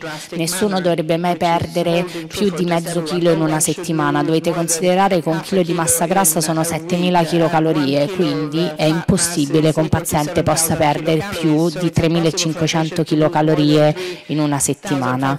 Quindi la dieta deve essere quella che noi promuoviamo è sicuramente la dieta mediterranea. Perché? Perché la dieta mediterranea, oltre ad essere l'unica dieta promossa patrimonio UNESCO, è eh, anche l'unica dieta che riesce con i suoi cardini a prevenire la maggior parte delle malattie metaboliche. Voi considerate che anche l'ipercolesterolemia è dovuta a una cattiva alimentazione, ma non perché il paziente mangia solo proteine animali come si poteva pensare in passato, perché il colesterolo contenuto contenuto negli alimenti incide sull'ipercolesterolemia solo per un 5%, quindi quasi niente, eh, ma incide l'alimentazione in generale. Perché? Perché l'organismo predisposto geneticamente a produrre più colesterolo del normale, che cosa fa?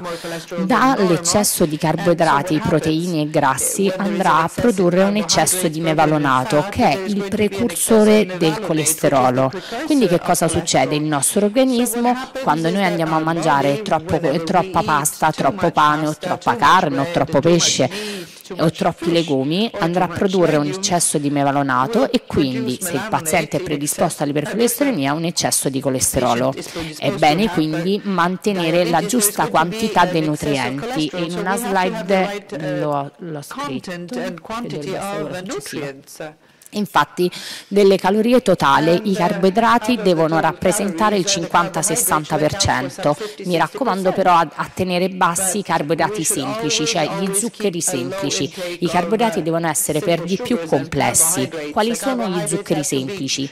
Sono i dolci, le marmellate, lo zucchero, lo zucchero raffinato, il, ehm, la frutta. Ecco, poi farò una breve parentesi sulla frutta. La frutta fa bene ma non possiamo eccedere con la frutta, perché? Perché la frutta sono zuccheri semplici e un eccesso di zuccheri semplici porta all'ipertriceridemia, tanto che spesso e volentieri i trigliceridi alti noi li vediamo più a settembre rispetto al resto dell'anno, proprio perché la, le persone mangiano più frutta del normale perché quella estiva si presta di più rispetto a quella invernale. Quindi la frutta va bene, ma devono essere massimo 200 grammi al giorno e in sostituzione dei carboidrati, quindi io non posso mangiare la pasta e la frutta nello stesso pasto. Ok, dovremmo mangiare la pasta e la verdura nello stesso pasto. I grassi devono essere più o meno devono rappresentare il 25-30% delle chilocalorie totali e dobbiamo prediligere però i grassi cosiddetti buoni, quindi l'olio extravergine d'oliva, dobbiamo cercare di ridurre i grassi saturi proprio perché quelli si vanno a depositare lungo il, le arterie riducendone il calibro e quindi aumentando il rischio delle malattie cardiovascolari. Le proteine essere, dovrebbero essere lo 0,8 grammi per peso corporeo, quindi intorno 12, al 12% di, eh, delle chilocalorie totali. Attenzione agli alimenti che ormai troviamo nel supermercato che sono arricchiti di proteine. Questo perché? Perché a lungo andare ovviamente fa male, fa male anche a tutta la funzionalità renale che è deputata a filtrare eh, tutte le proteine ingerite. Le proteine devono essere alternate il più possibile perché? Perché non troviamo nella carne tutti gli aminoacidi che servono al nostro organismo per funzionare adeguatamente e quindi è bene alternare la carne, il pesce, le uova, i legumi e i formaggi nella giusta maniera. Io dico che il metodo più semplice è quello di alternarli giorno per giorno e passo per pasto. Se a, a pranzo abbiamo mangiato pasta e lenticchie, quindi legumi, a cena mangeremo il pesce, il giorno dopo la carne, la sera le uova e via discorrendo, in modo tale da avere un'alimentazione più variegata possibile. La fibra devono essere all'incirca 25-30 grammi e ora io vi farò vedere come possiamo arrivare a questa quota di fibra al giorno in modo facile questo già ve l'ho detto, vabbè questa è la classica eh, piramide alimentare che è praticamente quello che vi ho appena spiegato, cioè la pasta e il pane eh, può essere mm, mangiata abitualmente, quindi tutti i giorni, ma ovviamente deve essere alternata, quindi se in un pasto abbiamo mangiato il carboidrato, nell'altro lo andremo a ridurre, perché? Perché daremo più spazio ad, ad altri macronutrienti come per esempio le proteine.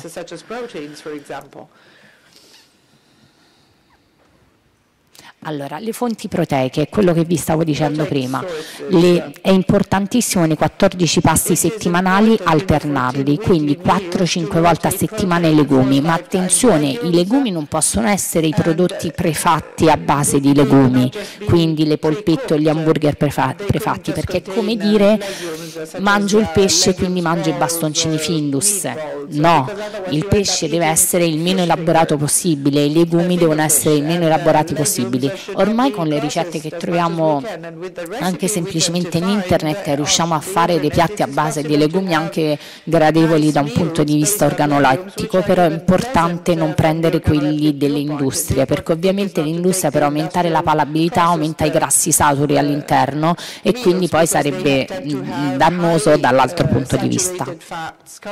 I formaggi preferibilmente una volta a settimana e anche le uova massimo due a settimana. Questo non non per un discorso di ipercolesterolemia come molte persone pensano, ma semplicemente perché se le uova andassimo a mangiarle più di una volta a settimana andremmo a ridurre l'introito invece di altri nutrienti ugualmente indispensabili. Il pesce sarebbe meglio quello dei mari freddi perché è più ricco di omega 3 e quindi gli omega 3 sono, ehm, riescono a ridurre naturalmente l'assetto lipidico nel, nel sangue e quindi il colesterolo cattivo come l'LDL.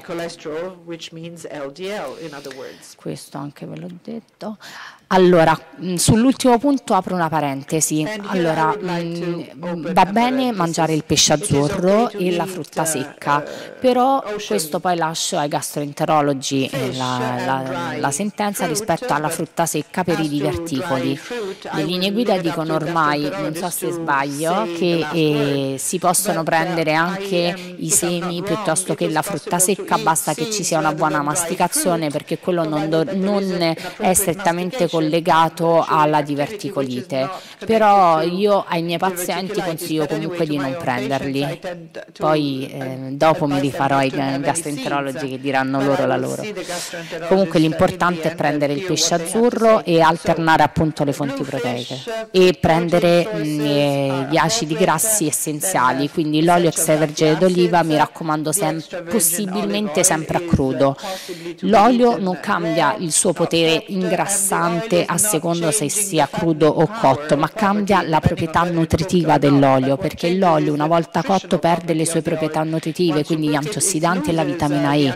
Eh, quindi quello che io dico è che se nelle due pietanze, nelle due portate che abbiamo davanti abbiamo, non so, le polpette dove l'olio è, crudo, è cotto, a questo punto sarà meglio prendere una verdura dove l'olio sarà messo a crudo in modo da bilanciare e avere l'effetto comunque dell'olio Ora, i cereali, i cereali sarebbe meglio prenderli sempre integrali, quindi pasta, pane, riso. Pre- prenderlo integrale che cosa vuol dire? Non cambia il suo potere ingrassante, ma cambia l'effetto che dà all'interno del nostro organismo. Perché? Perché i prodotti integrali sono più ricchi di fibra, ergo rallentano lo svuotamento gastrico e aumentano il senso di sazietà. Questo fa sì anche che il pancreas pancreas dovrà produrre l'insulina in maniera più graduale. Questo è il circolo che vi dicevo prima. Se io produco meno insulina avrò meno fame, quindi riuscirò a stare a dieta inteso come stile di vita meglio. Okay. Poi mh, mm, dobbiamo anche valutare che una dieta ricca di frutta e di verdura riduce i livelli di omocistina. L'omocistina è un aminoacido che si è visto aumenta il rischio delle malattie cardiovascolari. Questo soprattutto per le verdure a foglia larga che sono ricche di acido folico. Ricordiamoci che l'iperomocistemia si cura infatti con un'aumentata assunzione di acido folico. Un capitolo importante ovviamente è l'attività fisica, non intesa come l'ora che il paziente dovrebbe fare di palestra due volte a settimana, ma come intesa come attività fisica giornaliera, quindi cercare di aumentare le attività. Se dobbiamo andare in un posto cerchiamo di andare in quel posto a piedi, se dobbiamo, eh, se dobbiamo andare al terzo piano prendiamo le scale piuttosto che l'ascensore.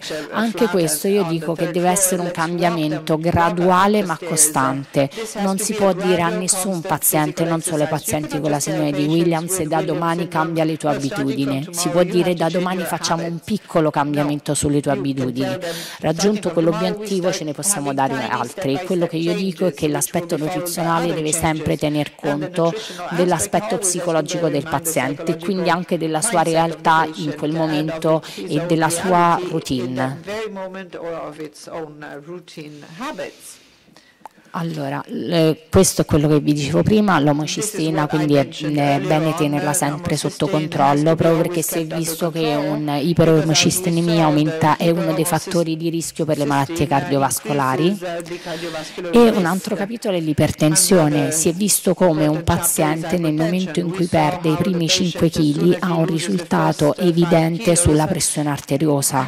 Quindi molto spesso mh, è vero che il cardiologo dà l'antipertensione, intensivo dal diuretico, ma bisogna dire sempre al paziente che la prima strada è quella di perdere peso e fare attività fisica. Perché? Perché così potremmo avere un risultato a lungo termine.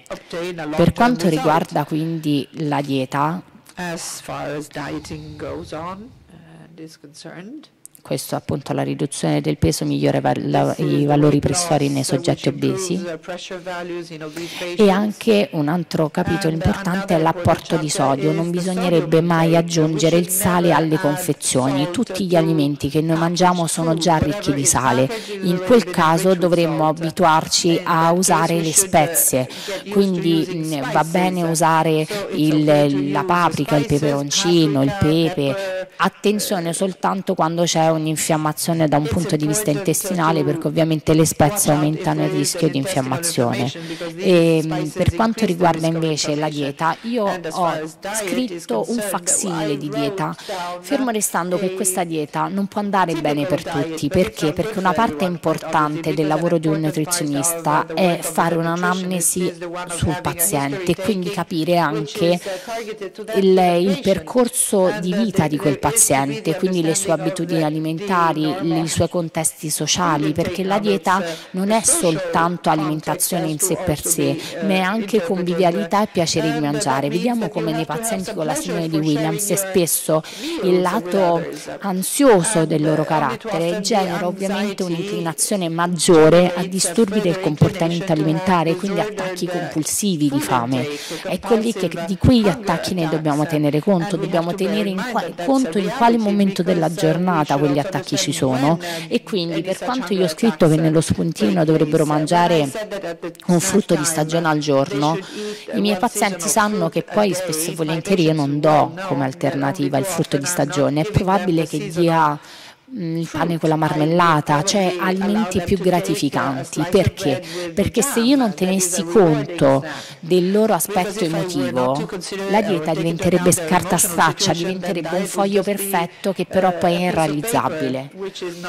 Comunque la dieta dovrebbe prevedere a colazione due fette biscottate integrali con due cucchiaini rasi di marmellata, un, un, piatto di pasta o di riso a pranzo con delle verdure o un secondo piatto, ricord- importante sono le due porzioni di verdura al giorno e a cena invece un secondo a base di carne, pesce, uovo e legumi, una porzione di verdura condita a parte con un cucchiaio di olio e 80 grammi di pane integrale o un frutto di stagione, quindi il pane sostituisce la frutta.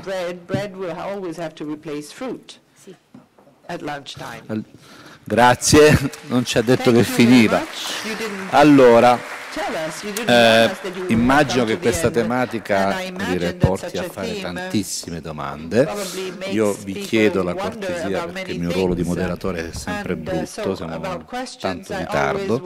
Adesso, siccome andiamo a mangiare, eh, sarà il motivo per fare queste domande alla collega. Io insomma, faccio un commento che ho capito che ho sbagliato tutto finora nella mia vita eh, si vede credo e quindi diciamo, questa sessione non l'avrei mai potuta moderare. Um, allora c'è una signorina che ci darà, ci darà le, indicazioni per andare a mensa, era qui fino a due secondi fa, se, perché non, manco già a spiegare? E mi sono perso.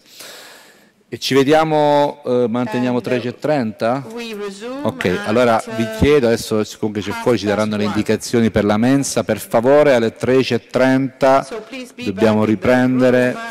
uh, e non so se in sala c'è la dottoressa Corridore e Putignani, se ci stanno, se si avvicinano un attimo, grazie, a dopo.